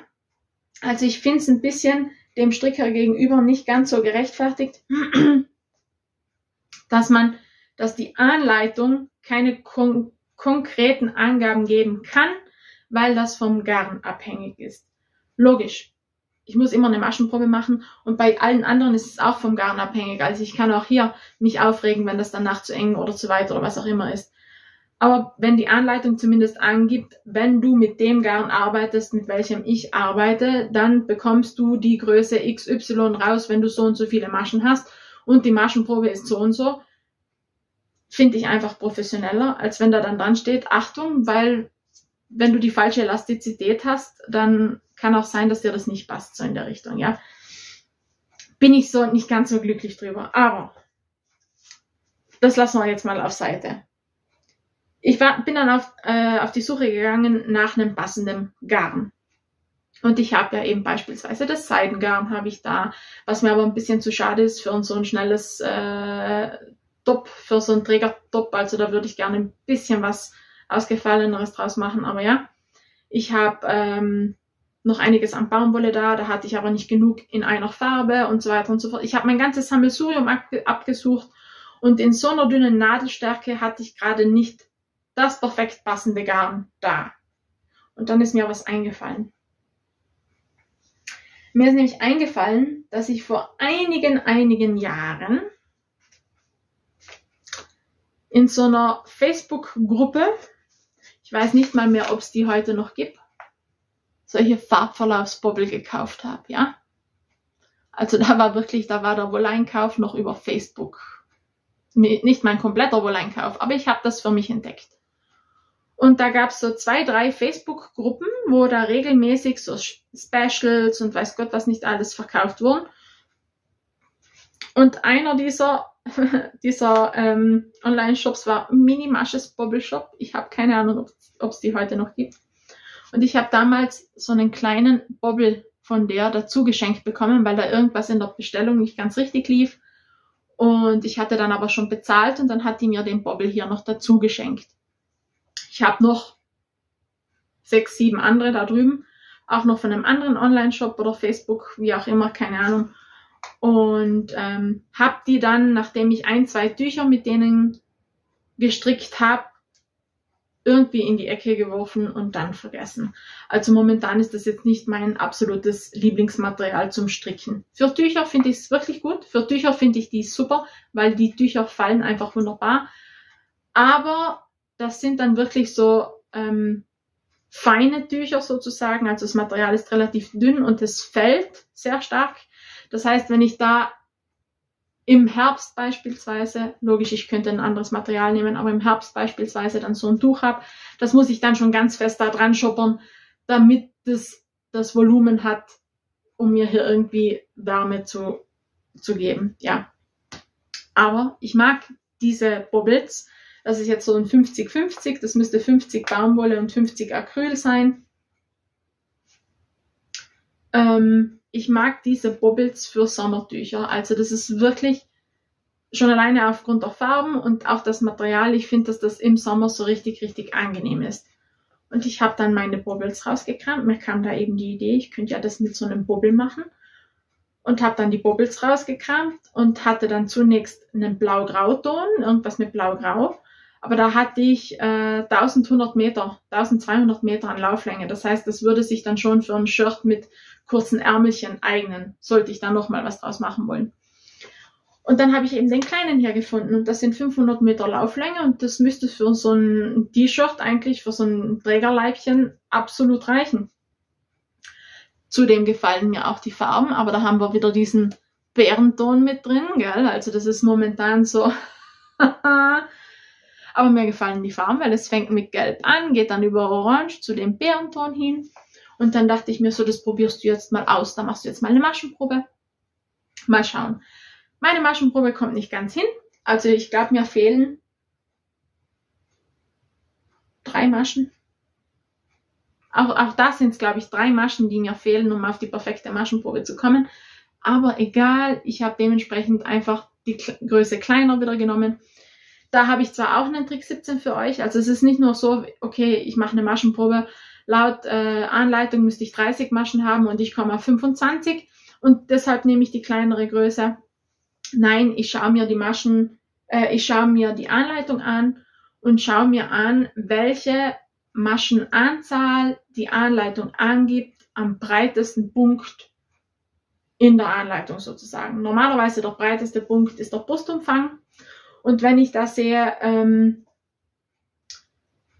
ich habe mir das vielleicht anhand von meiner Maschenprobe ausgerechnet und weiß, okay, mit meiner Maschenprobe brauche ich für meinen Brustumfang 250 Maschen beispielsweise und die Anleitung gibt an, für die Größe, die ich vielleicht gewählt hätte, wären es 300 Maschen, dann weiß ich, das sind 50 zu viel.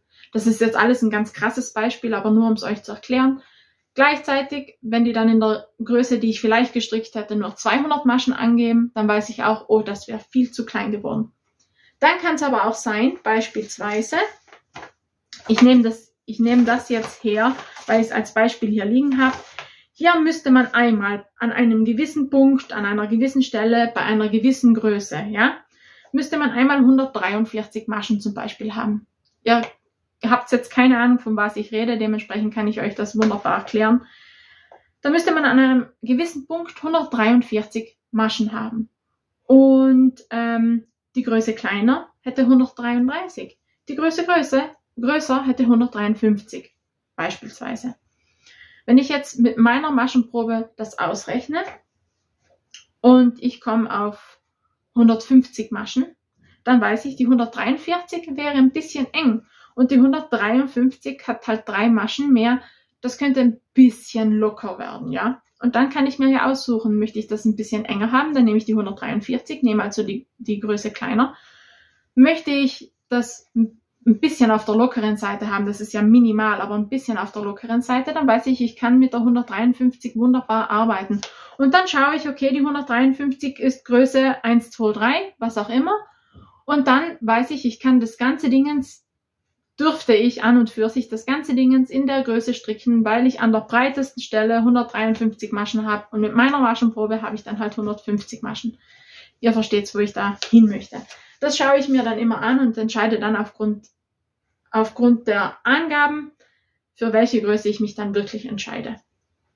Somit habe ich auch bei der hier Das mit der Elastizität einfach beiseite gelassen und habe mir mehr angeschaut an der breitesten Stelle, wie viel Maschen gibt die Designerin davor.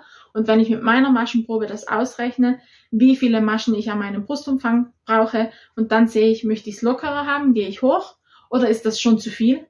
Oder möchte ich es ein bisschen enger haben, dann gehe ich runter oder ist auch da der Spielraum schon viel zu viel und ja, da bekommt man dann so ein bisschen, kann man dann ein bisschen damit arbeiten.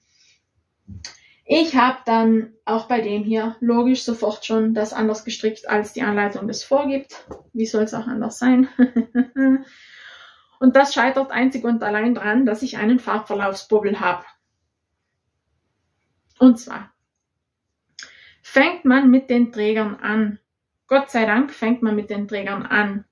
Aber man fängt mit den Trägern vorne wie auch hinten an und man schlägt alle provisorisch an alle Träger werden vorne zweimal und hinten zweimal provisorisch angeschlagen.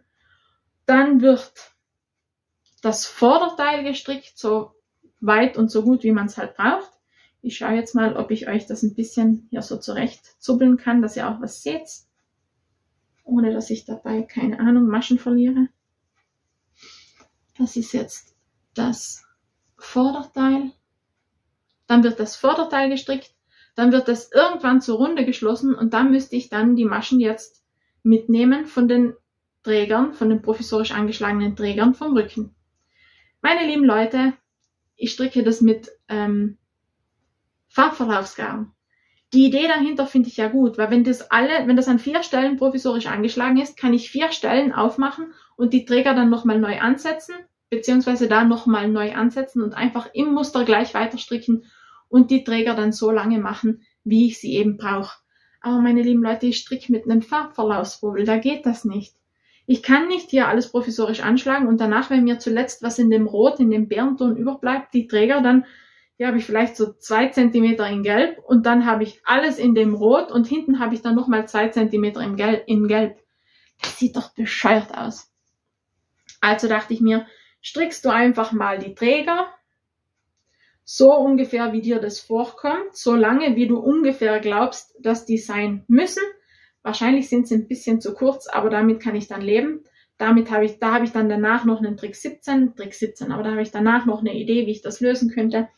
Aber strickst du einfach mal Träger in der ersten Farbe, und das war bei mir hier gelb, strickst du einfach mal feuchtfröhlich Träger vor dich hin ähm, und machst da, also die vom Rücken die provisorisch angeschlagenen am Rücken, die habe ich dann gar nicht erst gestrickt. Ja, ich habe einfach die Träger vorne gestrickt, habe dann das Vorderteil gestrickt, wie es in der Anleitung steht.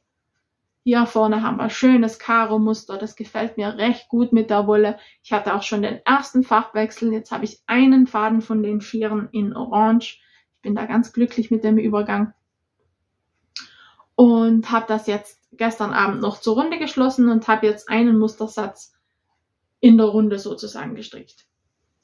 Ähm, jetzt mein, na, Dilemma ist es noch nicht, aber so als Info am Rande. Bei allen Trägershirts, die ich bis jetzt gestrickt habe, und das sind einige, also ich habe einige Trägershirts, ähm, habe ich die Träger immer, immer, immer zu lange gestrickt. Also ich habe die meistens schon vorausgestrickt und äh, oder habe mich auch an die Anleitung gehalten, was die Anleitung angibt, und die waren danach meistens viel zu lang viel zu lang im Sinne von, ich hatte irgendwo den Ausschnitt da unten und da sieht man dann einfach alles und ich hätte gerne den Ausschnitt einfach ein bisschen weiter oben, dass man nicht alles sieht, ja?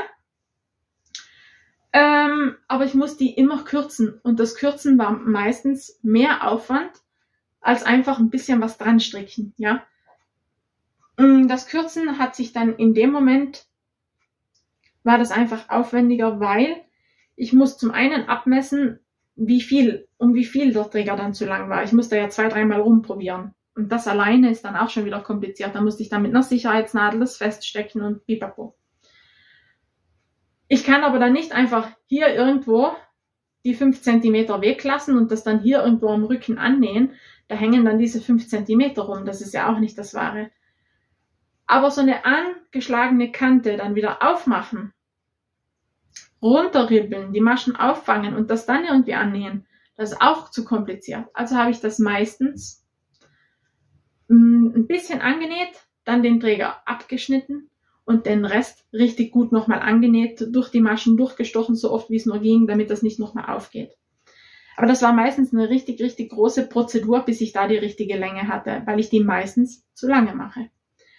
Somit dachte ich mir auch hier, ich mache das nicht so kompliziert und stricke viermal des Dingens mit dem provisorisch und danach weiß ich nicht, wie die, wie die Träger stricken, weil sie eine komplett andere Farbe haben und ich einfach glaube, dass das ein bisschen bescheuert aussieht, wenn man da oben dann so den oberen Teil in Rot hat. Nee, mag ich nicht. Also habe ich die Träger angefangen habe die nicht nach Anleitung gestrickt, habe einfach Träger gestrickt, habe dann ein gutes St Stück dran gestrickt. Ich glaube, die sind lang genug und habe dann einfach weitergemacht und werde die dann, wenn das Ding ganz fertig ist, hinten irgendwie annähen. Kann auch sein, dass ich mir hier den Luxus gönne und die hinten über Kreuz annähe, damit die mir nicht permanent über die Schulter runterrutschen. Kann auch sein. Aber schon allein da müsst ihr wissen, ich habe schon wieder was geändert, ja. Ich habe mich da nicht an die Anleitung gehalten, weil ich da einfach weil das einfach am Garn liegt. Ich kann da nicht, wenn das ein Farbverlaufsgarn ist, danach mit einer komplett anderen Farbe so einen mittleren Teil vom Träger stricken. Nein. Sollten die Träger zu kurz sein, jetzt gehen wir mal vom anderen Szenario aus, sollten die Träger zu kurz sein, dann würde ich mal bei der Länge sagen, handelt sich so maximal drei Zentimeter. Und wenn ich die dann da hinten am Rücken, wenn ich da zwischen dem Orange und dem Gelb dann drei Zentimeter rot habe, am Rücken, wo ich selbst noch nicht mal sehe, dann finde ich das weniger schlimm, als wenn ich da gelb habe, da ist alles gelb, dann ist mein Stückchen rot und dann ist wieder alles gelb. Zudem ist das ein recht schöner Gelbton. Es kann auch sein, dass ich ein ganz dünnes Baumwollgarn, kein Farbverlauf, aber ein ganz dünnes, simples Baumwollgarn in so einem ähnlichen Ton noch in meinem Sammelsurium habe und dann stricke ich das einfach ähm, mit dem Gelbton an und nähe das dann an. Vielleicht wäre das sogar noch weniger auffällig, ja. Aber das sehe ich dann. Das sehe ich dann, wenn das Ding jetzt fertig ist und wie lange, wie lange da der Träger dann effektiv ist und wie lange ich den dann, den dann brauche. Bis dato habe ich einmal das Vorderteil hier eben und jetzt schon zur Runde geschlossen. Hier an der Seite haben wir ein bisschen Bündchenmuster, das das Ganze so schön zusammenzieht. Eben da oben der Ausschnitt mit dem ähm, 1-1 Bündchen, das gefällt mir sehr gut. Es ist ein bisschen durchsichtig, aber ich glaube, man kann damit leben, wenn es weit genug oben sitzt. So in der Richtung kann ich sehr gut damit leben. Es macht auch Spaß zum Stricken und das Garn macht auch Spaß zum Stricken. Das ist sehr angenehm zum Verstricken.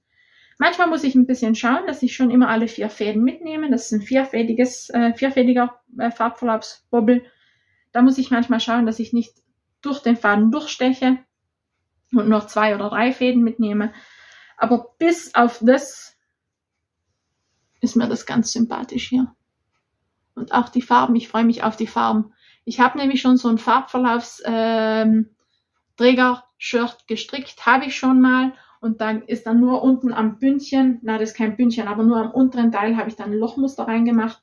Und das ist auch eines meiner Lieblingsshirts, weil das sitzt angenehm, es flattert ein bisschen und die Farben sind einfach genial. Also das ist auch so ein Farbverlaufsdingens, schon anders als der hier jetzt. Das ist ein bisschen anders, aber trotzdem, ich glaube, da oben habe ich in, das fängt an mit weiß und einem, einer dieser Fäden ist bunt, weiß mit bunt und dann geht's halt über in hellgrün mit bunt und dann dunkelgrün mit bunt.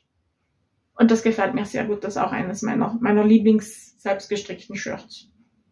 Und wenn das jetzt so ein bisschen wird, nur in gelb, orange, rot, dann bin ich da auch ganz glücklich. Das ist einmal das hier. Auch noch als Info am Rande. Ich finde das ganz lustig. Ich habe ähm, ich habe das Vorderteil, so wie ihr es jetzt hier schon mal seht, da war ich nicht ganz so weit mit dem Rücken, aber ich war kurz davor, die Maschen für den Rücken anzuschlagen. Hat, hatte ich schon mal gestrickt, also ich hatte schon mal so viel gestrickt. Da habe ich aber, ich habe die Maschenprobe mit drei Millimeter Nadeln gemacht und musste dann da die Nadel rausnehmen, weil ich die für ein anderes Projekt gebraucht habe. Und bis ich das Ding jetzt angefangen habe, habe ich die Maschenprobe auf dreieinhalber Millimeter Nadeln gebackt gehabt. Und dann ist eine Woche vergangen. Und als ich das dann rausnahm und mir die Maschenprobe nochmal angeschaut habe, habe ich mich nicht mehr daran erinnert, dass ich das Ding jetzt mit 3 mm Nadeln gestrickt habe, sondern habe die Nadel abgemessen, die ich auf der Maschenprobe hatte. Und das war eine 3,5er und habe dann dieses ganze Stück schon einmal mit dreieinhalber gestrickt. Und habe mich dann gewundert, warum meine Größe nicht mehr passt, warum das so groß wird und warum das so durchsichtig wird. Und hatte das alles schon gestrickt und habe dann alles bis auf die Träger, die Träger sind immer noch in dreieinhalber gestrickt, alles bis auf die Träger nochmal geribbelt, habe dann die Maschen von den Trägern aufgefangen und habe dann das jetzt alles nochmal mit drei Millimeter Nadeln gestrickt. Also eigentlich müsste ich schon weiter sein, aber ja. Solche Fauxpas. Da ist einfach zwischen Maschenprobe machen und dann das Strickstück anfangen, zu viel Zeit vergangen und ich habe mich dann nicht mehr dran erinnert und kam dann beim Stricktreffen, da hatte ich ein Stricktreffen und da ging mir dann ein Licht auf und ich war die glücklichste Person, so wie gerade bei den zwei Maschen, die ich da gefunden habe und aufgefangen habe, dass ich, bevor ich das zur Runde geschlossen habe und noch viel mehr gestrickt hätte, mir das nochmal eingefallen ist und ich somit das größere Übel eigentlich hm, bewahrt, mich vor dem größeren Übel bewahrt habe. Und dann habe ich halt das Ganze jetzt nochmal mit drei Millimetern gestrickt und jetzt sieht es eben auch so aus, wie ich mir das vorstelle. Und es ist nicht mehr so durchsichtig. Jo, das war alles, was ich in den letzten drei Wochen gestrickt habe. Das ist alles, was ich euch heute zeigen kann. Und ich wünsche euch noch eine schöne Woche wir sehen uns dann im nächsten Video und noch viel schöne Strickzeit. Und ich gehe jetzt an einem, entweder am Maven Top oder an dem Julie Summer Knits, Julie Summer Top mache ich jetzt weiter an einem von den zweien. Mir gefallen da gerade einfach die Farben und da werde ich jetzt an einem von den zweien weitermachen. Ich wünsche euch noch eine schöne, eine schöne Woche. Ich wiederhole mich, noch eine schöne Woche und bis zum nächsten Video. Tschüss.